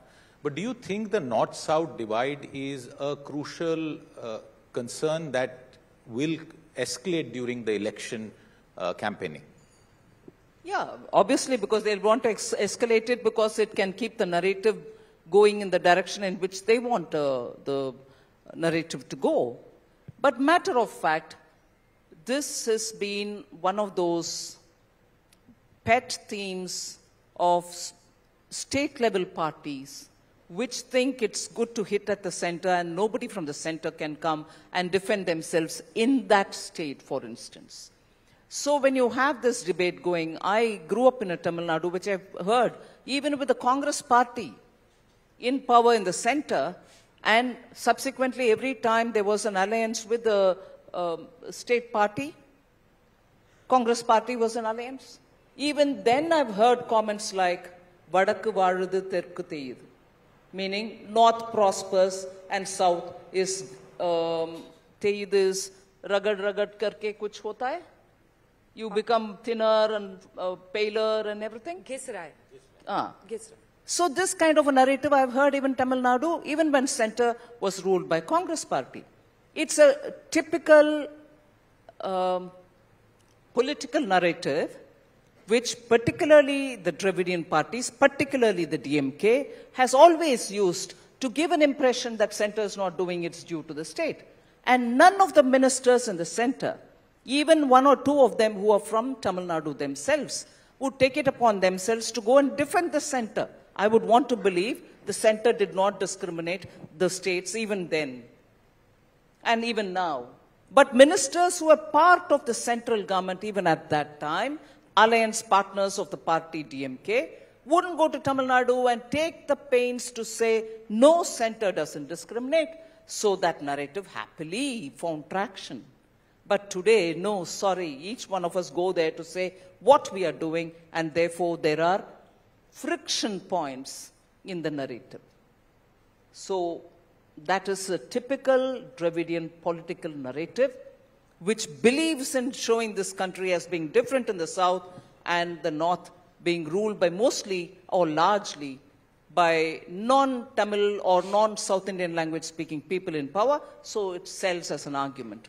But that's not fair at all. Madam Finance Minister, as we look back at the 10 years of the Modi Sarkar, on the economic report card, there are areas of strength and achievements, and then there are some concerns. I want to draw your attention to two visualizations compiled by the India Today Data Intelligence Unit and get you to comment on your strategy to deal with these. These are economic realities. I want to understand how you're dealing with them. I'll take uh, shrinking consumer spending first. So on your screen coming up is a visualization that maps uh, consumer spending going back two decades. So if you see, uh, consumer spending over the last couple of years has actually come down uh, to levels below where we were a couple of decades ago. Do you see this as being normal? There's a lot of concern in some economic circles that consumer spending is going down and why and whether beyond the big headline economic growth numbers, there is underlying stress. So that's one. The second is to do with household savings. So if you call up the visualization on household savings, here as well, uh, there is some concern in terms of whether household saving, which has really been one of the strengths of the Indian economy because Indians, unlike more profligate consumers in the West, tend to save more, whether that is changing and whether that again at some level uh, is representative of economic stress. So if you look at those, I'm sure you've had an opportunity to absorb what the trend lines are suggesting. So Madam Finance Minister, your sense on the concern that behind the growth numbers is an underlying stress reflected and captured in these charts. I'll first take on the household savings. Yes, the number which is shown is based on savings, small savings. And there are very many schemes through which we are trying to capture with better interest rates like the one which we uh, gave in honor of women. We said you, uh, you take up a fixed deposit before the uh, 31st of March 2024. You get a higher rate of interest and many women have started uh, investing money into the fixed deposit because the rate of interest was much higher than what otherwise the banks would give. Um, so by doing these uh, where the interest rate was remaining low for a long time and people didn't think it was worth putting money into the small savings schemes or the banks, we had to prop that up with specified targets with higher interest rate, which means we are subsidizing. But what is also equally happening and which doesn't get captured in this is people today, when I say people, retail, small people, are also going to the stock markets. Not just going through mutual funds, but also going through demat accounts which they open on their own. So the, actually since after 2020, you find that money is going to the stock market in the name of retail investments have gone substantially high. In fact, India stands out as one of those countries where retail investors are directly going to stock market. And that should also get captured and not seen as speculation. It's certainly investing their savings into stock market rather than putting into savings schemes. That's about savings. Uh, if you talk about consumption, there, there can be a disparity, and that will be a matter of my worry so that I can um, see how best I can help out in consumption expenditure. But consumption expenditure also depends on the items which go into the basket. And when you talk to the fast moving uh, goods which are reaching out the rural areas, there are dips and rises, but people are spending on goods which are cons- consumer durables as much as they used to do when days were not affected by COVID earlier. So I, I think what is important for us is to see how in the medium term it pans out rather than get carried away by month on month expenditure analysis. It is important to know because you'll get to see how it's moving. But I would be uh, looking at both with a larger screen before me. मेरा सवाल भी घरेलू बचत और लोगों की खर्च करने की क्षमता से ही जुड़ा हुआ है लोगों की जेब की बात करते हैं जब पांच राज्यों के चुनाव थे तब सिलेंडर की कीमत एलपीजी सिलेंडर की दो सौ रुपये घटा दी गई और अब सौ रुपये घटा दी गई है और बीती शाम ही दो रुपये पेट्रोल डीजल की कीमत। अब विपक्ष कह रहा है कि ये चुनावी चाल है। आप लोग जब इलेक्शन का टाइम आता है, तभी कीमतें घटाते हैं।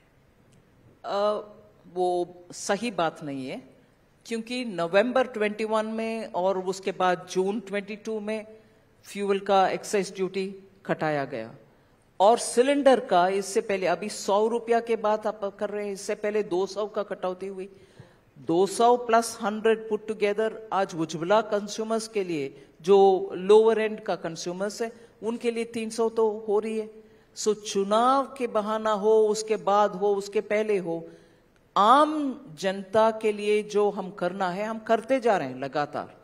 आप चुनाव के मद्दे नज़र रखते हुए प्रश्न पूछ रहे हैं। मैं पूछ रही हूँ बहुत सारे स्टेट्स हैं। जब हम रिड्यूस किए उन्होंने रिड्यूस नहीं किए। और उनके इलेक्शन मैनिफेस्टो में प्रॉमिस था हम कट करेंगे। प्रॉमिस को भी माना नहीं है चुनाव को भी माना नहीं है कभी खाटा भी नहीं है। सो so, प्रश्न हमसे उठाना है या उनसे उठाना है? हम कुछ ना कुछ बहाना दिखे दिखाते हुए, चाहे वो इलेक्शन भी क्यों ना हो, हम कट तो कर रहे हैं। मैं पूछ रही हूँ उन लोगों से जो मैनिफेस्टो में लिखे हैं और अब उस समय भी नहीं किया, अभी भी नहीं कर रहे हैं। उनसे पूछ लो, आम जनता के ध्यान, वोट के समय आप प्रॉमिस कर रहे हो और फिर भी जीतने के बाद काम तो नहीं कर रहे finance minister you mentioned the stock markets and the and the growing uh, stock market uh, equity investing cult. But my question is, do you see any excesses building up uh, in the economy? Are certain areas of our economy getting overheated? The regulators seem to be a little concerned. They have expressed public warnings, froth in the market, valuation bubbles, unsecured lending. As the Finance Minister of India, what is your view on this? I'll allow the markets to play on their own. Because as much as all of us can observe that our stocks are overvalued or our stocks, stocks don't represent the real value, whatever be it, I think the markets will play it out. And uh, we should leave it to the wisdom of the market because all of us have seen that despite huge fluctuations globally, Indian market has maintained a certain level of sanity. It hasn't really gone too uh, violent this way or that way. So I'll place a lot of trust on the market. Madam Finance Minister, you know, I want to talk to you about two things. If you look at the overall numbers for foreign direct investment and foreign portfolio investment, the numbers show that we're at historic levels or we're doing much better than in the past. However, many economists would argue that that's not the full picture, that the right way of looking at this, and again I want to call two visualizations on the screen, the right way of looking at this is to look at foreign direct investment and foreign portfolio investment relative to our GDP. So if we were to do that conversion and have these on our screen right now, so just so that everyone's on the same page, the light cream represents foreign direct investments, where in 2001, if foreign direct investment was what 0.9% of the size of the GDP as a percentage, it's now 0.7. So it went up in 2010 and has been a flatline curve tending downwards uh, till the last numbers are available for Q3 of uh, the last year.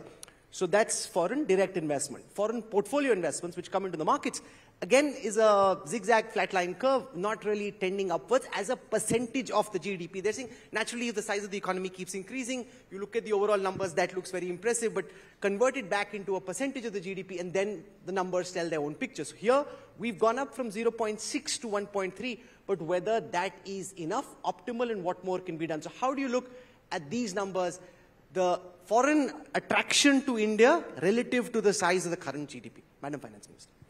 Um, they are very important indicators, no doubt. We'll also have to place them in the context. That is, whether the Indian market, Indian economy, the macroeconomy are all attractive enough for foreign direct investment to come. And whether for the FPIs, which are a lot more mercurial in their functioning, whether there's enough for them to earn. But that is looking at the one side of the coin, that is the Indian macroeconomic situation. But you'll also have to look at the global situation, whether the fund is ready to come here or are there attractive markets outside? Despite that, if they have to come, what are the kind of things we need to do? So when the question is asked as to what the government has to do to keep FDI consistently coming to India, you'll have to every time pitch that picture against what is developing globally. So if the global um, situation is strong, you will have to do a lot more to attract them. And if the volatility is much more there, then you know that you will naturally project your macroeconomic situation being stable and attract them. I'm telling you the larger principle. But of late, India's macroeconomic consistency has been strong and that is why you find FDIs coming in. Discussions with fund managers, discussion with sovereign funds, all of whom come to India to ask as to what is it that they can get in into, which are the kinds of areas and so on.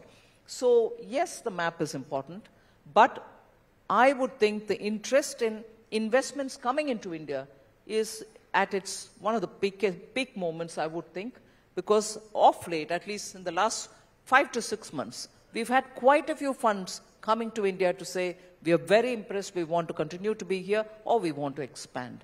So I would look at that as a very strong indicator that this picture will only improve and keep growing. विदेशी निवेश की आपने चर्चा की लेकिन देश के अंदर जो चर्चा होती है वो सबसे ज्यादा नौकरियों को लेकर है और चुनावी वर्ष है मोदी सरकार बनने के बाद 2014 से लगभग 2021-22 तक सात लाख के आसपास सरकारी नौकरियाँ दी गई थी।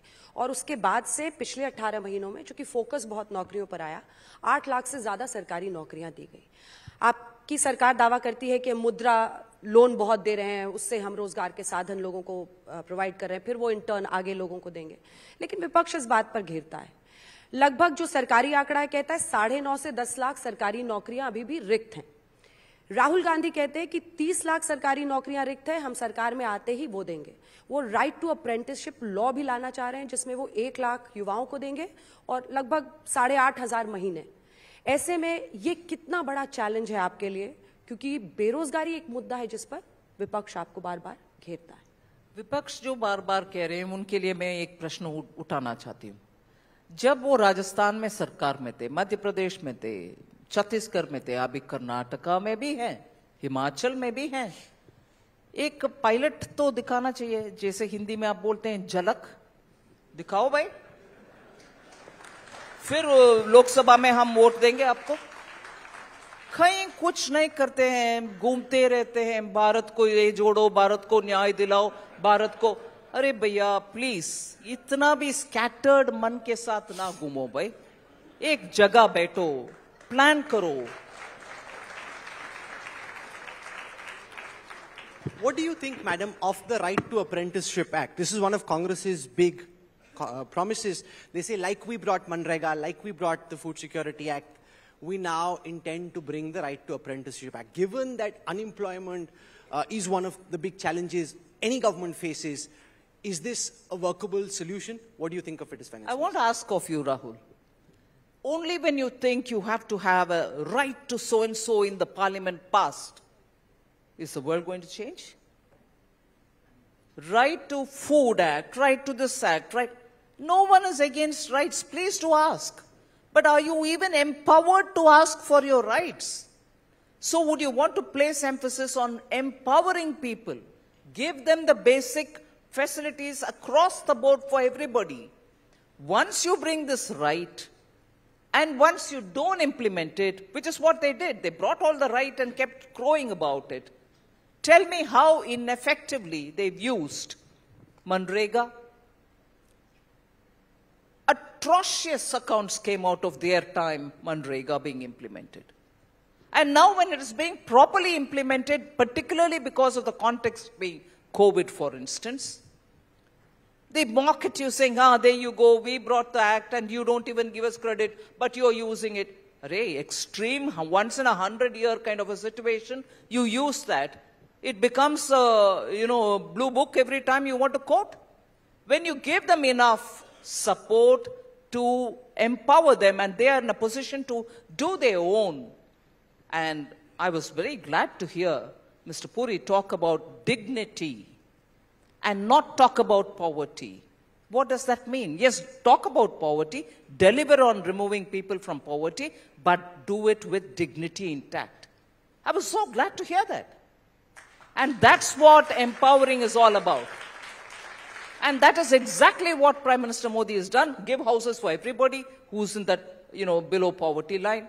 Make sure they don't have to run helter-skelter. Use technology to say wherever they are, they can get their food quota and so on. So, right to skilling, isn't that what government is doing today?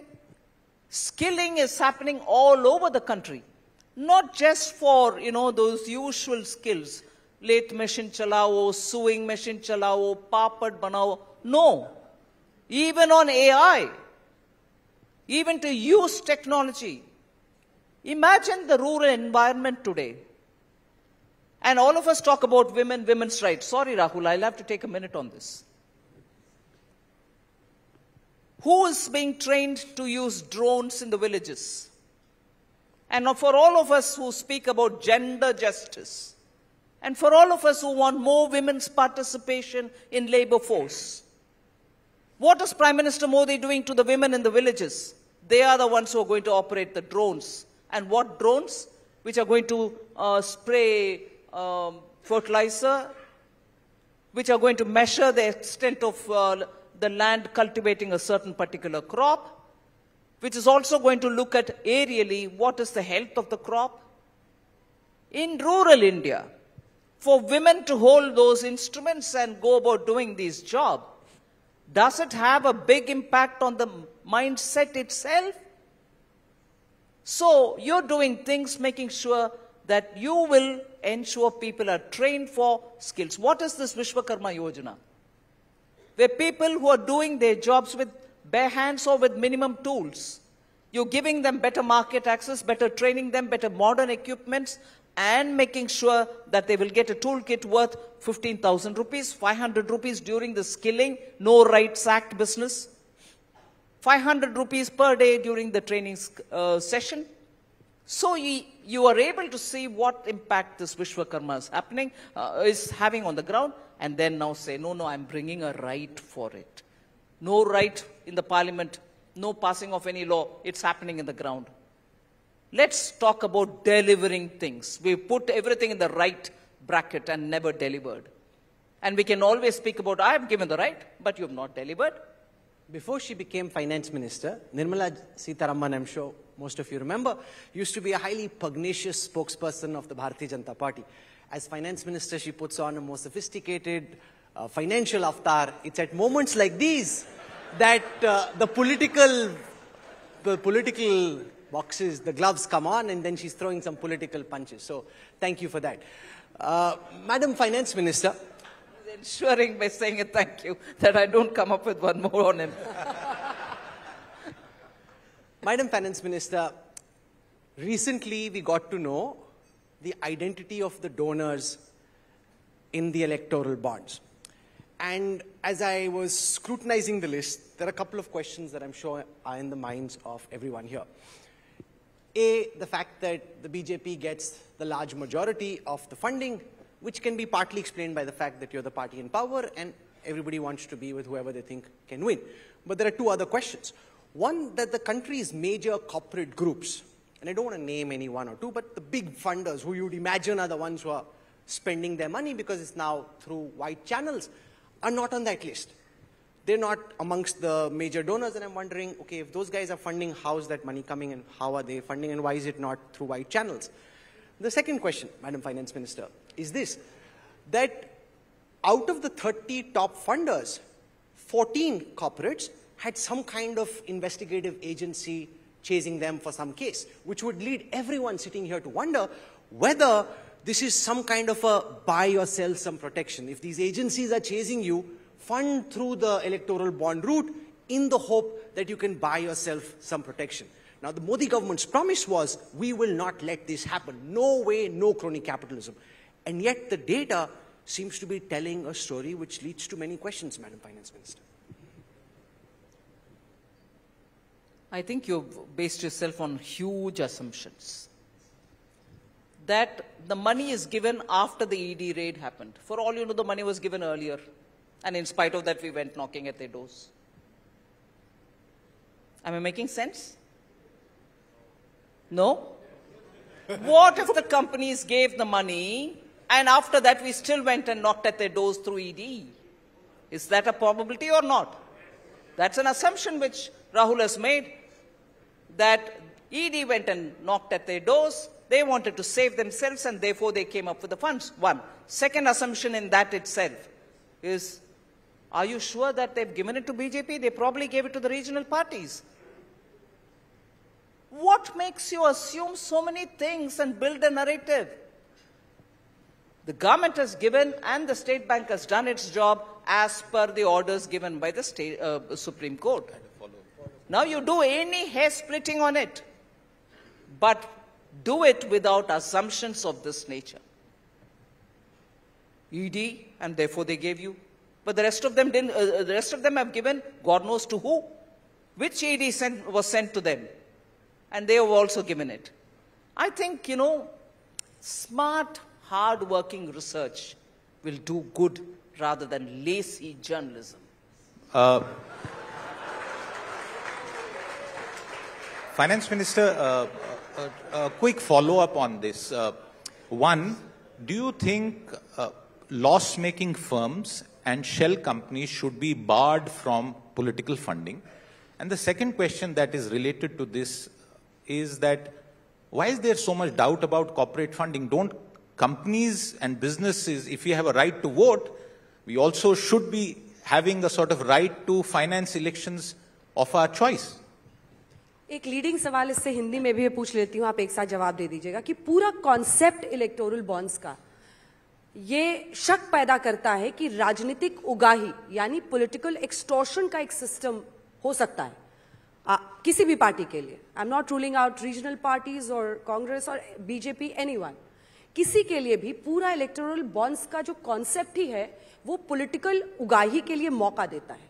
क्या ये सही नहीं है? अंजना जी मैं सिर्फ़ एक बार विस्तार से ये विषय बोलना चाह रही हूँ and also addressing your Siddharth your question इससे पहले क्या था? मैं फुली कॉन्शियस हूँ कि ये मामला कोर्ट में अभी भी चालू है, चल रही है।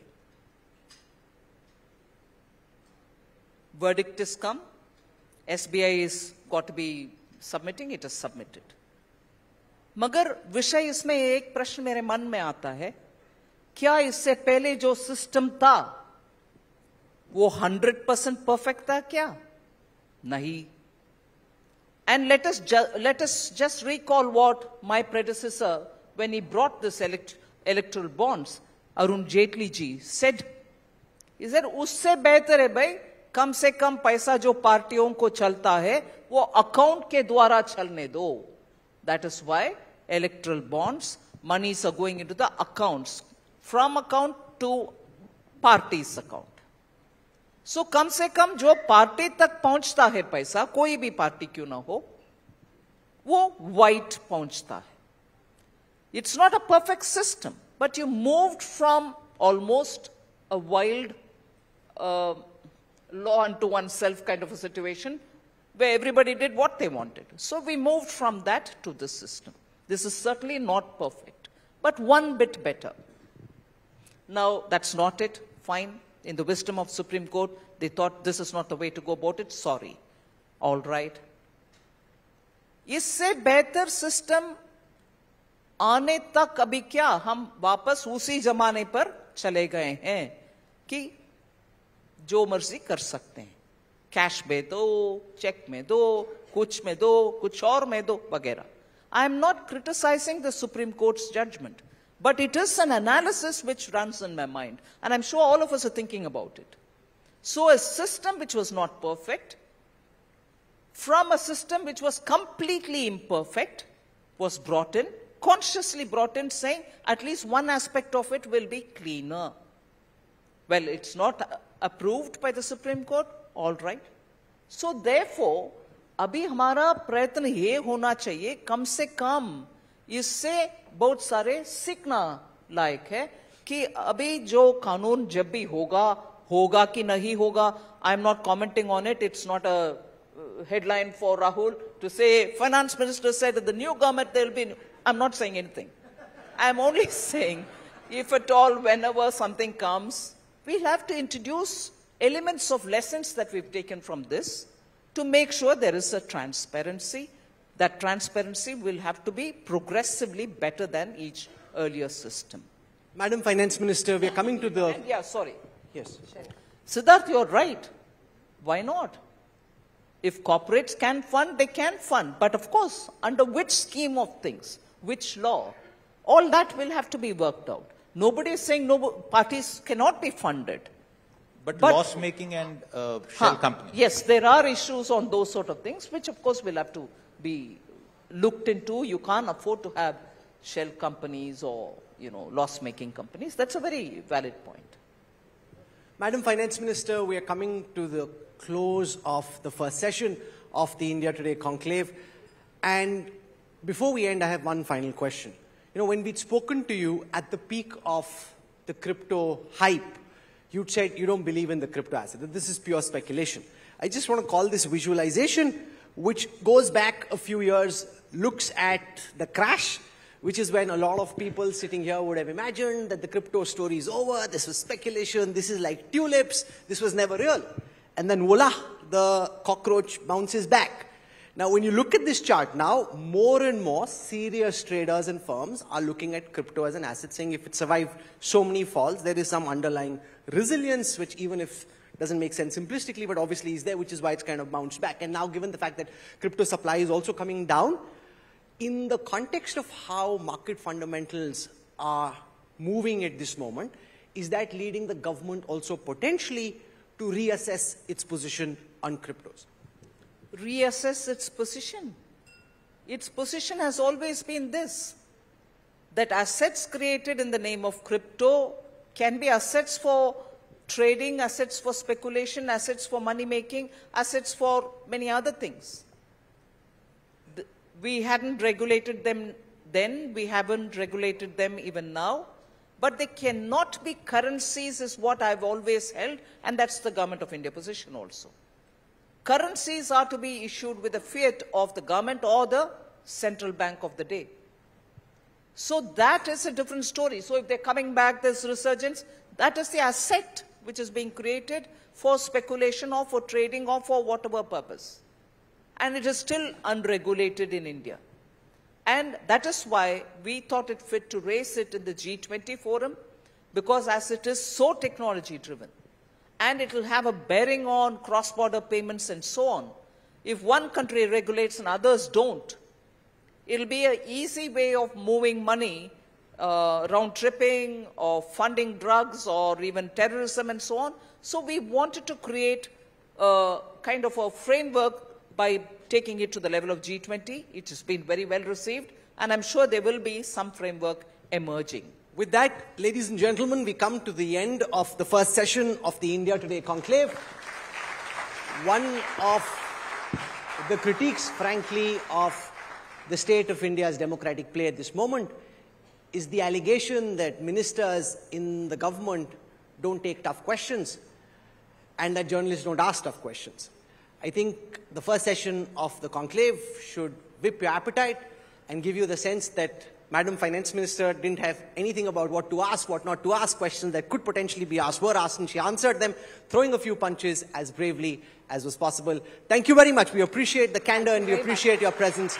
Madam Finance Minister, can we have a round of applause for Finance Minister Nirmala Sitharaman for setting the tone and the stage for this, the 21st edition of the India Today Conclave. Thank you, Nirmala ji. Thank you. Ladies and gentlemen, as we raise a warm applause for the Honorable Minister, ma'am, would you stay up on stage for just a minute? Ma'am, ma'am, just one minute if you could stay up on stage and accept a small token of our appreciation. I'd like to call upon uh, Executive Editor-in-Chief, Vice Chairperson, the India Today Group, Ms. Kalli Purie, to come up on stage and present a small token of our appreciation to the Honorable Minister. Ladies and gentlemen, please raise a warm applause for Union Minister, Finance, Corporate Affairs, Nirmala Sitharaman.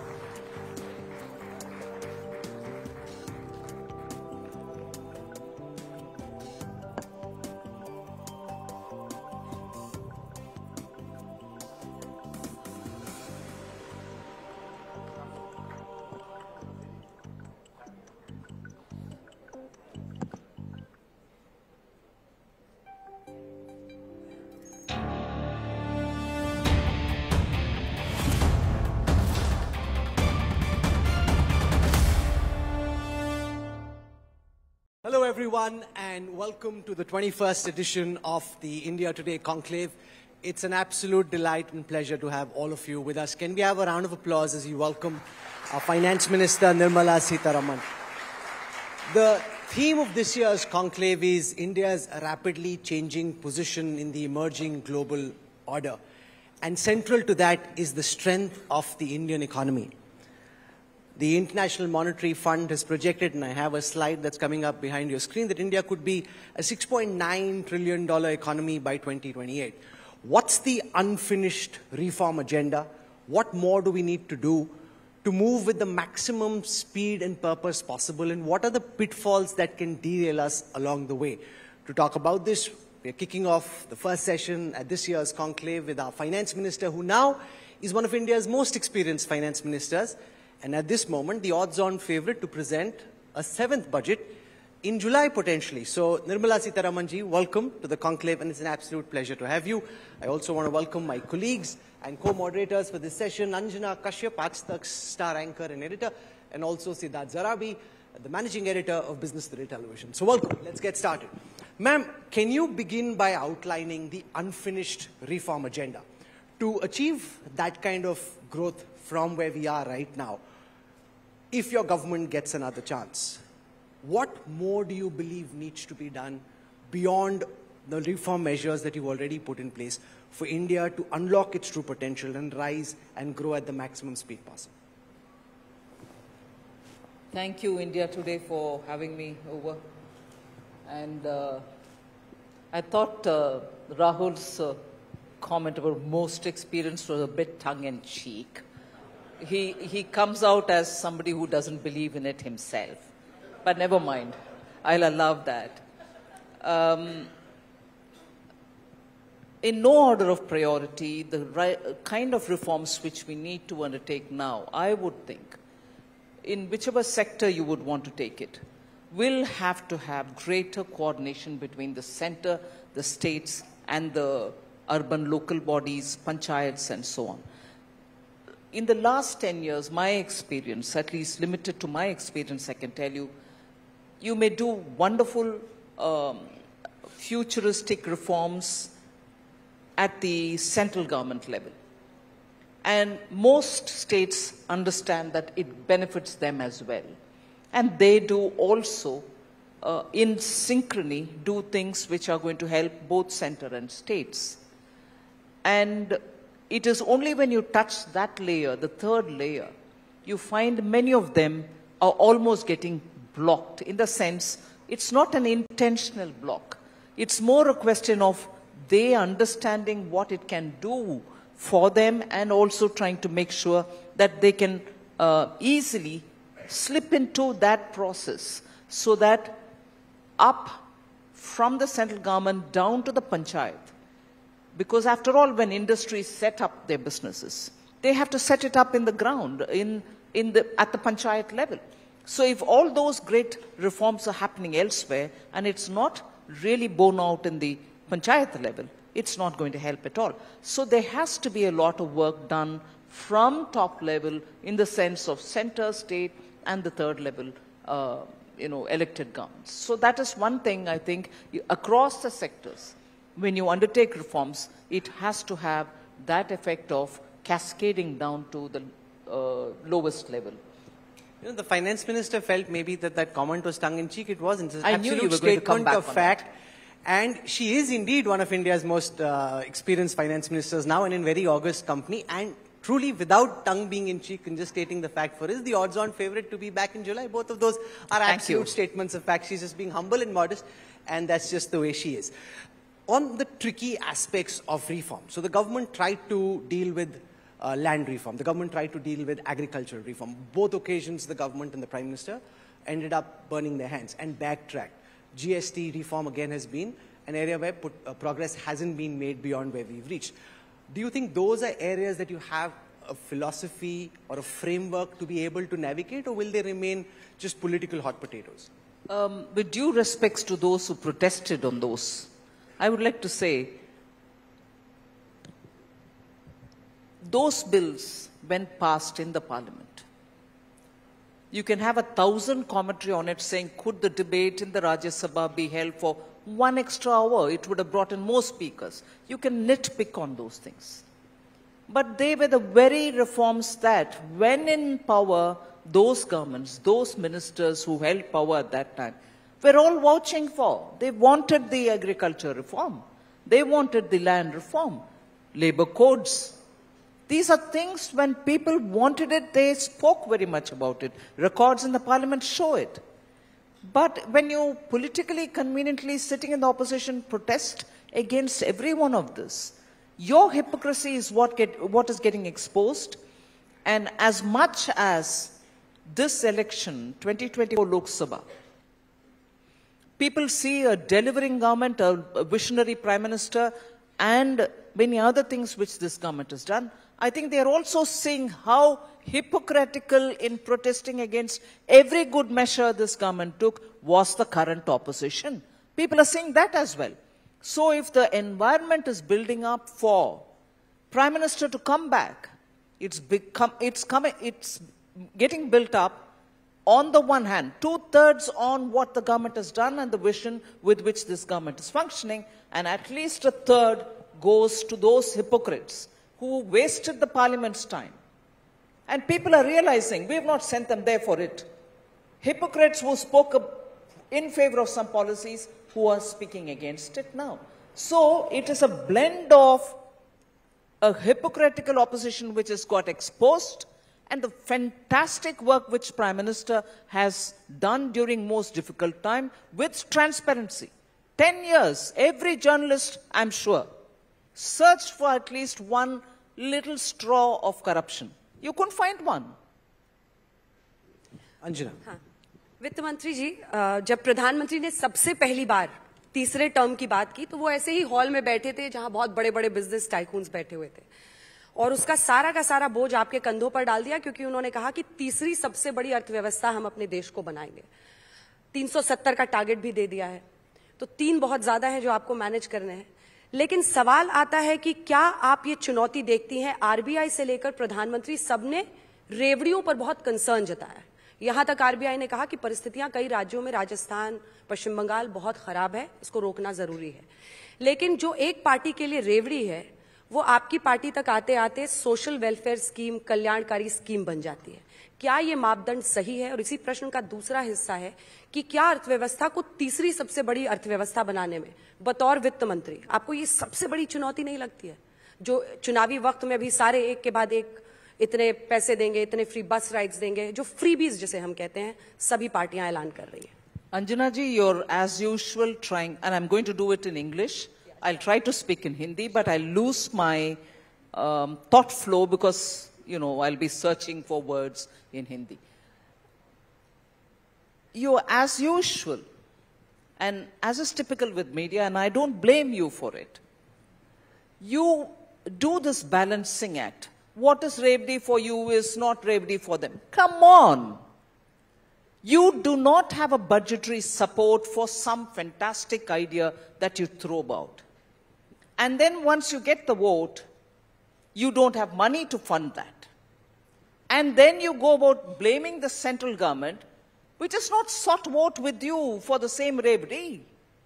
But you want the central government to fund you because you had these fancy baskets of lollipops given for the people. Look at the example, and I'm sitting here to talk politics. Look at the example of Karnataka. A state one year ago was doing very well. Global Investor Summit drew the best of people to come and invest in that state because it's a fantastic state, draws excellent talent from all over the country, beautifully endowed, and has the right environment of blend of culture, industry, enterprise, and everything else. Now, what is the state of affairs in Karnataka? And who is to blame? And it, it actually hurts me so much to say, even Bengaluru city doesn't have drinking water. All within a year, you, you've seen what the Revdi can do.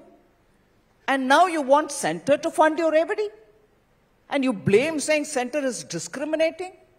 And there is also another state which has taken us to the court, and I'm quite happy to go to the court and put all the facts before the court. For the mismanagement that states do, I would want the media to ask more meaningful questions of those states as well. Stop this debate of balancing. What is Revdi for you is not Revdi. Come on, tell me. Ask them to show the budgetary statements to say, I have made provision for this particular thing, so I don't need newer taxes on my own people. I've made budgetary provision for this. I will not blame the government if it doesn't give me one paisa extra than what the Finance Commission has asked me for. Ask such questions, Anjana. Then you'll know what is Revdi and what is not. Uh, Finance Minister, I want to follow this question up uh, with a broader point about the north-south divide. Uh, fastest growing economy in the G20 nations, faster than any of our uh, rivals. Fourth largest stock market, which is turbocharged right now. But do you think the north-south divide is a crucial uh, concern that will escalate during the election uh, campaigning? Yeah, obviously, because they'll want to escalate it because it can keep the narrative going in the direction in which they want uh, the narrative to go. But, matter of fact, this has been one of those pet themes of state level parties which think it's good to hit at the center and nobody from the center can come and defend themselves in that state, for instance.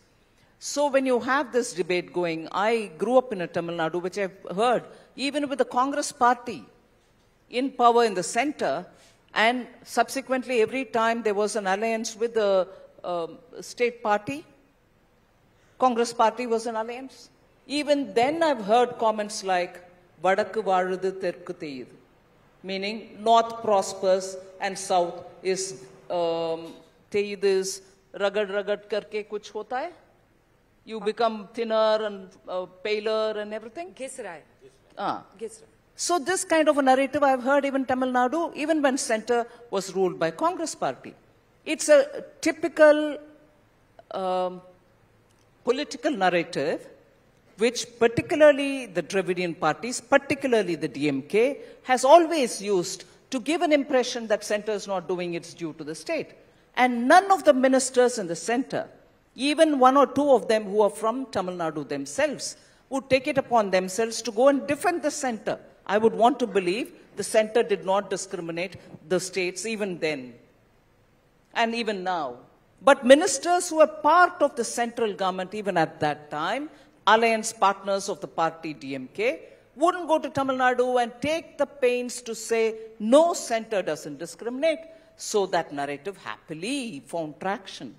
But today, no, sorry, each one of us go there to say what we are doing, and therefore there are friction points in the narrative. So that is a typical Dravidian political narrative which believes in showing this country as being different in the south and the north being ruled by mostly or largely by non-Tamil or non-South Indian language speaking people in power, so it sells as an argument. But that's not fair at all. Madam Finance Minister, as we look back at the 10 years of the Modi Sarkar, on the economic report card, there are areas of strength and achievements, and then there are some concerns.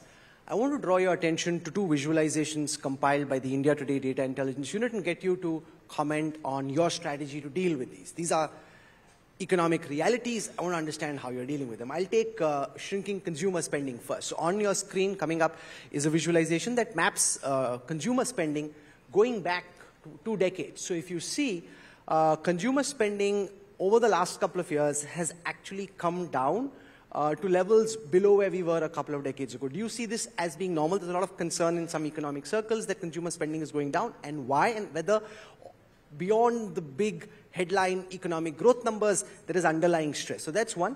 The second is to do with household savings. So if you call up the visualization on household savings, here as well, uh, there is some concern in terms of whether household saving, which has really been one of the strengths of the Indian economy, because Indians, unlike more profligate consumers in the West, tend to save more, whether that is changing and whether that, again, at some level, uh, is representative of economic stress. So if you look at those, I'm sure you've had an opportunity to absorb what the trend lines are suggesting.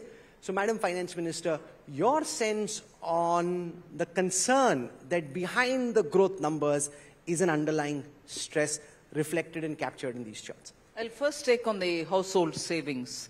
Yes, the number which is shown is based on savings, small savings.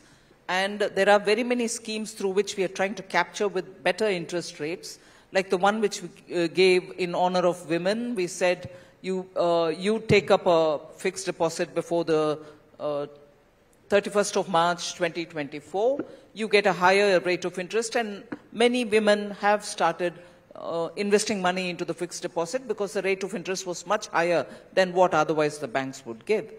Um, so by doing these uh, where the interest rate was remaining low for a long time and people didn't think it was worth putting money into the small savings schemes or the banks, we had to prop that up with specified targets with higher interest rate, which means we are subsidizing. But what is also equally happening and which doesn't get captured in this is people today, when I say people, retail, small people, are also going to the stock markets. Not just going through mutual funds, but also going through demat accounts which they open on their own. So the, actually since after 2020, you find that money is going to the stock market in the name of retail investments have gone substantially high. In fact, India stands out as one of those countries where retail investors are directly going to stock market. And that should also get captured and not seen as speculation. It's certainly investing their savings into stock market rather than putting into savings schemes. That's about savings. Uh, if you talk about consumption, there, there can be a disparity and that will be a matter of my worry so that I can um, see how best I can help out in consumption expenditure. But consumption expenditure also depends on the items which go into the basket. And when you talk to the fast moving uh, goods which are reaching out the rural areas, there are dips and rises, but people are spending on goods which are cons consumer durables as much as they used to do when days were not affected by COVID earlier. So I, I think what is important for us is to see how in the medium term it pans out rather than get carried away by month on month expenditure analysis. It is important to know because you'll get to see how it's moving. But I would be uh, looking at both with a larger screen before me. मेरा सवाल भी घरेलू बचत और लोगों की खर्च करने की क्षमता से ही जुड़ा हुआ है लोगों की जेब की बात करते हैं जब पांच राज्यों के चुनाव थे तब सिलेंडर की कीमत एलपीजी सिलेंडर की दो सौ रुपये घटा दी गई और अब सौ रुपये घटा दी गई है और बीती शाम ही दो रुपये पेट्रोल डीजल की कीमत। अब विपक्ष कह रहा है कि ये चुनावी चाल है। आप लोग जब इलेक्शन का टाइम आता है, तभी कीमतें घटाते हैं। वो सही बात नहीं है, क्योंकि नवंबर 21 में और उसके बाद जून 22 में फ्यूल का एक्साइज ड्यूटी घटाया गया। और सिलेंडर का, इससे पहले, अभी सौ रुपया के बाद आप कर रहे हैं, इससे पहले 200 का कटौती हुई। 200 प्लस 100 पुट टुगेदर आज उज्ज्वला कंज्यूमर्स के लिए, जो लोअर एंड का कंज्यूमर्स है, उनके लिए 300 तो हो रही है। सो चुनाव के बहाना हो, उसके बाद हो, उसके पहले हो, आम जनता के लिए जो हम करना है, हम करते जा रहे हैं लगातार। आप चुनाव के मद्दे नज़र रखते हुए आप प्रश्न पूछ रहे हैं। मैं पूछ रही हूँ बहुत सारे स्टेट्स हैं जब हम रिड्यूस किए उन्होंने रिड्यूस नहीं किए। और उनके इलेक्शन मैनिफेस्टो में प्रॉमिस था हम कट करेंगे। प्रॉमिस को भी माना नहीं है चुनाव को भी माना नहीं है कभी खाटा भी नहीं है। सो so, प्रश्न हमसे उठाना है या उनसे उठाना है? हम कुछ ना कुछ बहाना दिखे दिखाते हुए चाहे वो इलेक्शन भी क्यों ना हो हम कट तो कर रहे हैं। मैं पूछ रही हूँ उन लोगों से जो मैनिफेस्टो में लिखे हैं और अब उस समय भी नहीं किया अभी भी नहीं कर रहे उनसे पूछ लो आम जनता के ध्यान वोट के समय आप प्रॉमिस कर रहे हो और फिर भी जीतने के बाद काम तो नहीं कर रहे Finance Minister, you mentioned the stock markets and the uh, and the growing uh, stock market uh, equity investing cult. But my question is, do you see any excesses building up uh, in the economy? Are certain areas of our economy getting overheated? The regulators seem to be a little concerned. They have expressed public warnings, froth in the market, valuation bubbles, unsecured lending. As the Finance Minister of India, what is your view on this? I'll allow the markets to play on their own. Because as much as all of us can observe that our stocks are overvalued or our stocks, stocks don't represent the real value, whatever be it, I think the markets will play it out. And uh, we should leave it to the wisdom of the market because all of us have seen that despite huge fluctuations globally, Indian market has maintained a certain level of sanity. It hasn't really gone too uh, violent this way or that way. So I'll place a lot of trust on the market. Madam Finance Minister, you know, I want to talk to you about two things. If you look at the overall numbers for foreign direct investment and foreign portfolio investment, the numbers show that we're at historic levels or we're doing much better than in the past. However, many economists would argue that that's not the full picture, that the right way of looking at this, and again, I want to call two visualizations on the screen. The right way of looking at this is to look at foreign direct investment and foreign portfolio investment relative to our GDP. So if we were to do that conversion and have these on our screen right now, so just so that everyone's on the same page, the light cream represents foreign direct investments, where in 2001, if foreign direct investment was what 0.9% of the size of the GDP as a percentage, it's now 0.7. So it went up in 2010 and has been a flatline curve tending downwards uh, till the last numbers are available for Q3 of uh, the last year. So that's foreign direct investment. Foreign portfolio investments which come into the markets, again, is a zigzag flatline curve, not really tending upwards as a percentage of the GDP. They're saying naturally if the size of the economy keeps increasing, you look at the overall numbers, that looks very impressive, but convert it back into a percentage of the GDP and then the numbers tell their own picture. So here, we've gone up from 0.6 to 1.3, but whether that is enough, optimal, and what more can be done. So how do you look at these numbers, the foreign attraction to India relative to the size of the current GDP? Madam Finance Minister. Um, they are very important indicators, no doubt. We'll also have to place them in the context that is whether the Indian market, Indian economy, the macroeconomy are all attractive enough for foreign direct investment to come. And whether for the FPIs, which are a lot more mercurial in their functioning, whether there's enough for them to earn. But that is looking at the one side of the coin, that is the Indian macroeconomic situation.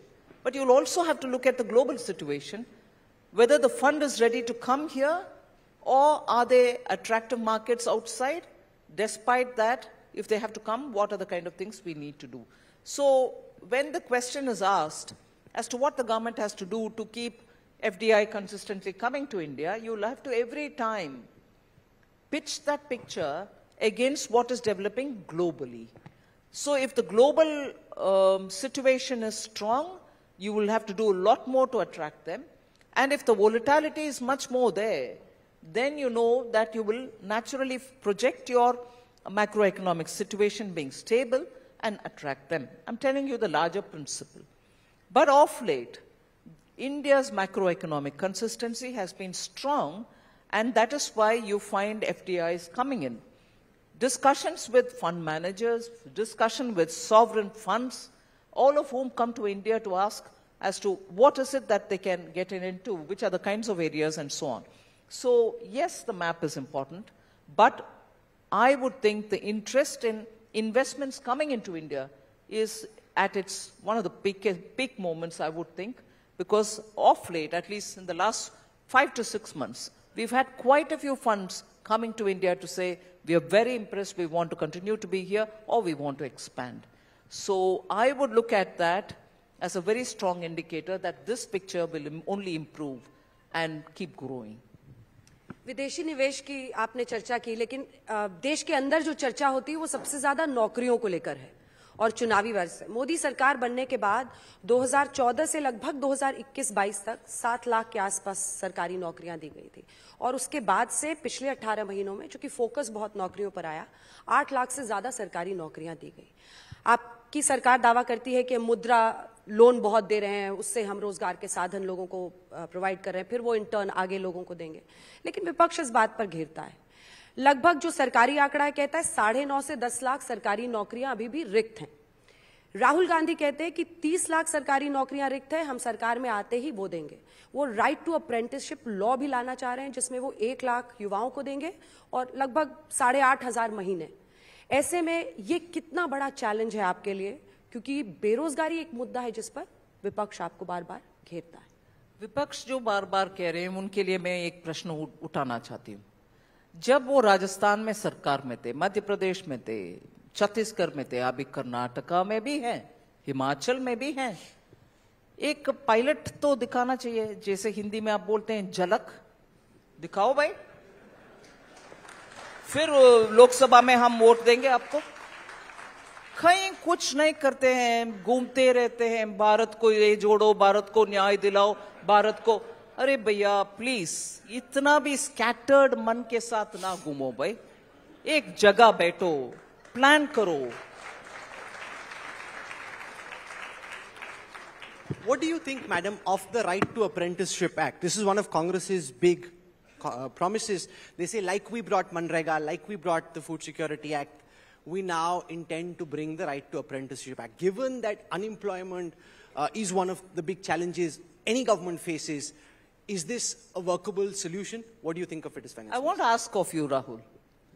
Only when you think you have to have a right to so and so in the parliament passed, is the world going to change? Right to Food Act, right to this act, right? No one is against rights. Please to ask. But are you even empowered to ask for your rights? So would you want to place emphasis on empowering people? Give them the basic facilities across the board for everybody. Once you bring this right, and once you don't implement it, which is what they did, they brought all the right and kept crowing about it. Tell me how ineffectively they've used Manrega, atrocious accounts came out of their time, Manrega being implemented. And now when it is being properly implemented, particularly because of the context being COVID, for instance, they mock at you saying, ah, there you go, we brought the act and you don't even give us credit, but you're using it. Array, extreme, once in a hundred year kind of a situation, you use that. It becomes a, you know, blue book every time you want to quote. When you give them enough support to empower them and they are in a position to do their own. And I was very glad to hear Mr. Purie talk about dignity and not talk about poverty. What does that mean? Yes, talk about poverty, deliver on removing people from poverty, but do it with dignity intact. I was so glad to hear that. And that's what empowering is all about. And that is exactly what Prime Minister Modi has done. Give houses for everybody who's in that, you know, below poverty line. Make sure they don't have to run helter-skelter. Use technology to say wherever they are, they can get their food quota. And so on. So, right to skilling. Isn't that what government is doing today? Skilling is happening all over the country. Not just for, you know, those usual skills. Lathe machine chalao, sewing machine chalao, papad banao. No. Even on AI. Even to use technology. Imagine the rural environment today. And all of us talk about women, women's rights. Sorry, Rahul, I'll have to take a minute on this. Who is being trained to use drones in the villages? And for all of us who speak about gender justice, and for all of us who want more women's participation in labor force, what is Prime Minister Modi doing to the women in the villages?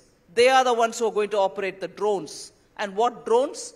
Which are going to uh, spray um, fertilizer, which are going to measure the extent of uh, the land cultivating a certain particular crop, which is also going to look at aerially what is the health of the crop. In rural India, for women to hold those instruments and go about doing this job, does it have a big impact on the mindset itself? So you're doing things making sure that you will ensure people are trained for skills. What is this Vishwakarma Yojana? Where people who are doing their jobs with bare hands or with minimum tools, you're giving them better market access, better training them, better modern equipments, and making sure that they will get a toolkit worth 15,000 rupees, 500 rupees during the skilling, no rights act business, 500 rupees per day during the training uh, session. So you, you are able to see what impact this Vishwakarma is happening, uh, is having on the ground, and then now say, no, no, I'm bringing a right for it. No right in the parliament, no passing of any law, it's happening in the ground. Let's talk about delivering things. We put everything in the right bracket and never delivered. And we can always speak about, I have given the right, but you have not delivered. Before she became finance minister, Nirmala Sitharaman, I'm sure most of you remember, used to be a highly pugnacious spokesperson of the Bharatiya Janata Party. As finance minister, she puts on a more sophisticated uh, financial avatar. It's at moments like these that uh, the political, the political boxes, the gloves come on, and then she's throwing some political punches. So thank you for that. Uh, Madam Finance Minister, ensuring by saying a thank you that I don't come up with one more on him. Madam Finance Minister, recently we got to know the identity of the donors in the electoral bonds. And as I was scrutinizing the list, there are a couple of questions that I'm sure are in the minds of everyone here. A, the fact that the BJP gets the large majority of the funding which can be partly explained by the fact that you're the party in power and everybody wants to be with whoever they think can win. But there are two other questions. One, that the country's major corporate groups, and I don't want to name any one or two, but the big funders who you'd imagine are the ones who are spending their money because it's now through white channels, are not on that list. They're not amongst the major donors, and I'm wondering, okay, if those guys are funding, how's that money coming and how are they funding and why is it not through white channels? The second question, Madam Finance Minister, is this, that out of the 30 top funders, 14 corporates had some kind of investigative agency chasing them for some case, which would lead everyone sitting here to wonder whether this is some kind of a buy or sell some protection. If these agencies are chasing you, fund through the electoral bond route in the hope that you can buy yourself some protection. Now, the Modi government's promise was, we will not let this happen. No way, no crony capitalism. And yet the data seems to be telling a story which leads to many questions, Madam Finance Minister. I think you've based yourself on huge assumptions. That the money is given after the ED raid happened. For all you know, the money was given earlier. And in spite of that, we went knocking at their doors. Am I making sense? No? what if the companies gave the money and after that we still went and knocked at their doors through ED? Is that a probability or not? That's an assumption which Rahul has made that ED went and knocked at their doors. They wanted to save themselves and therefore they came up with the funds. One. Second assumption in that itself is are you sure that they've given it to BJP? They probably gave it to the regional parties. What makes you assume so many things and build a narrative? The government has given and the state bank has done its job as per the orders given by the state, uh, Supreme Court. Now you do any hair splitting on it, but do it without assumptions of this nature. ED, and therefore they gave you. But the rest of them didn't, uh, the rest of them have given God knows to who. Which ED sent, was sent to them? And they have also given it. I think, you know, smart, hard-working research will do good rather than lazy journalism. Uh,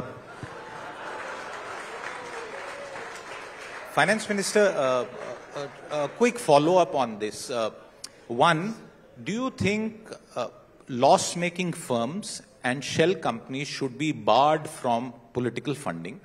And the second question that is related to this is that why is there so much doubt about corporate funding? Don't companies and businesses, if we have a right to vote, we also should be having a sort of right to finance elections of our choice. एक leading सवाल इससे हिंदी में भी पूछ लेती हूं आप एक साथ जवाब दे दीजिएगा कि पूरा कॉन्सेप्ट इलेक्टोरल बॉन्ड्स का ये शक पैदा करता है कि राजनीतिक उगाही यानी पॉलिटिकल एक्सटोर्शन का एक सिस्टम हो सकता है आ, किसी भी पार्टी के लिए I am not ruling out regional parties और कांग्रेस और बीजेपी एनीवन किसी के लिए भी पूरा इलेक्टोरल बॉन्ड्स का जो कॉन्सेप्ट ही है, वो पॉलिटिकल उगाही के लिए मौका देता है। क्या ये सही नहीं है? अंजना जी, मैं सिर्फ़ एक बार विस्तार से ये विषय बोलना चाह रही हूँ and also addressing your Siddharth your question इससे पहले क्या था? मैं फुल्ली कॉन्शियस हूँ कि ये मामला कोर्ट में अभी भी चालू है, चल रही है। Verdict is come SBI is got to be submitting, it is submitted. मगर विषय इसमें एक प्रश्न मेरे मन में आता है, क्या इससे पहले जो सिस्टम था, वो हंड्रेड परसेंट परफेक्ट था क्या? नहीं. And let us let us just recall what my predecessor when he brought this electoral bonds Arun Jaitley ji said इधर उससे बेहतर है भाई कम से कम पैसा जो पार्टियों को चलता है वो अकाउंट के द्वारा चलने दो that is why electoral bonds, monies are going into the accounts, from account to party's account.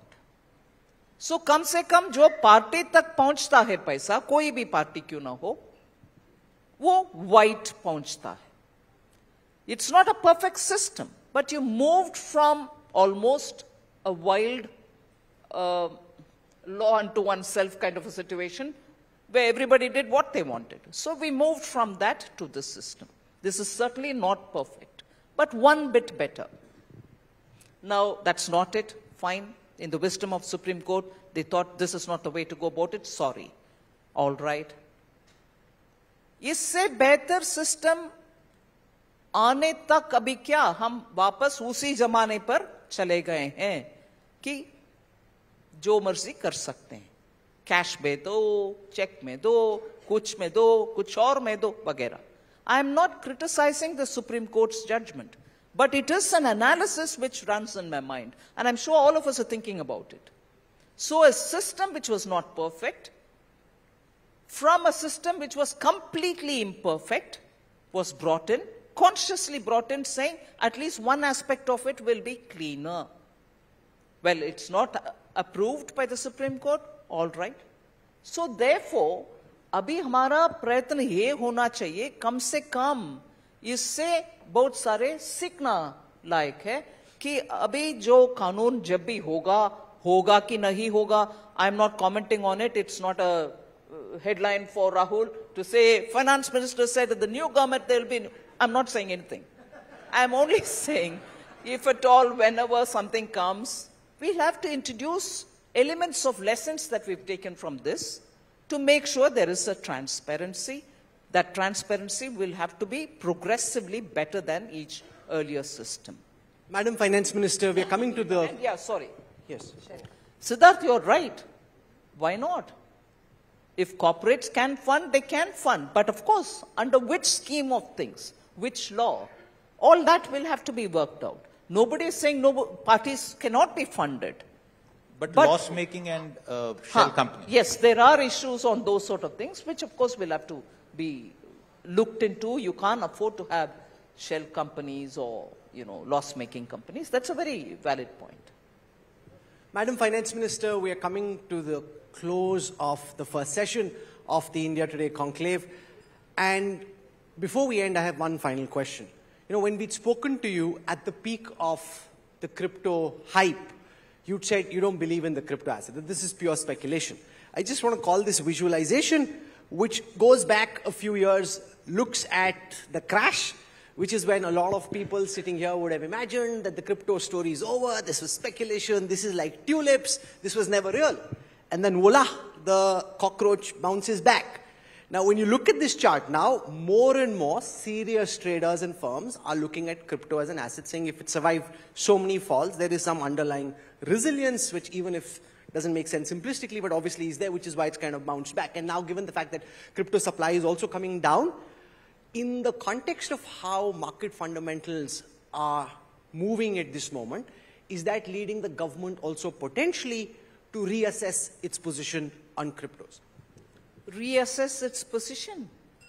Its position has always been this that assets created in the name of crypto can be assets for trading, assets for speculation, assets for money making, assets for many other things.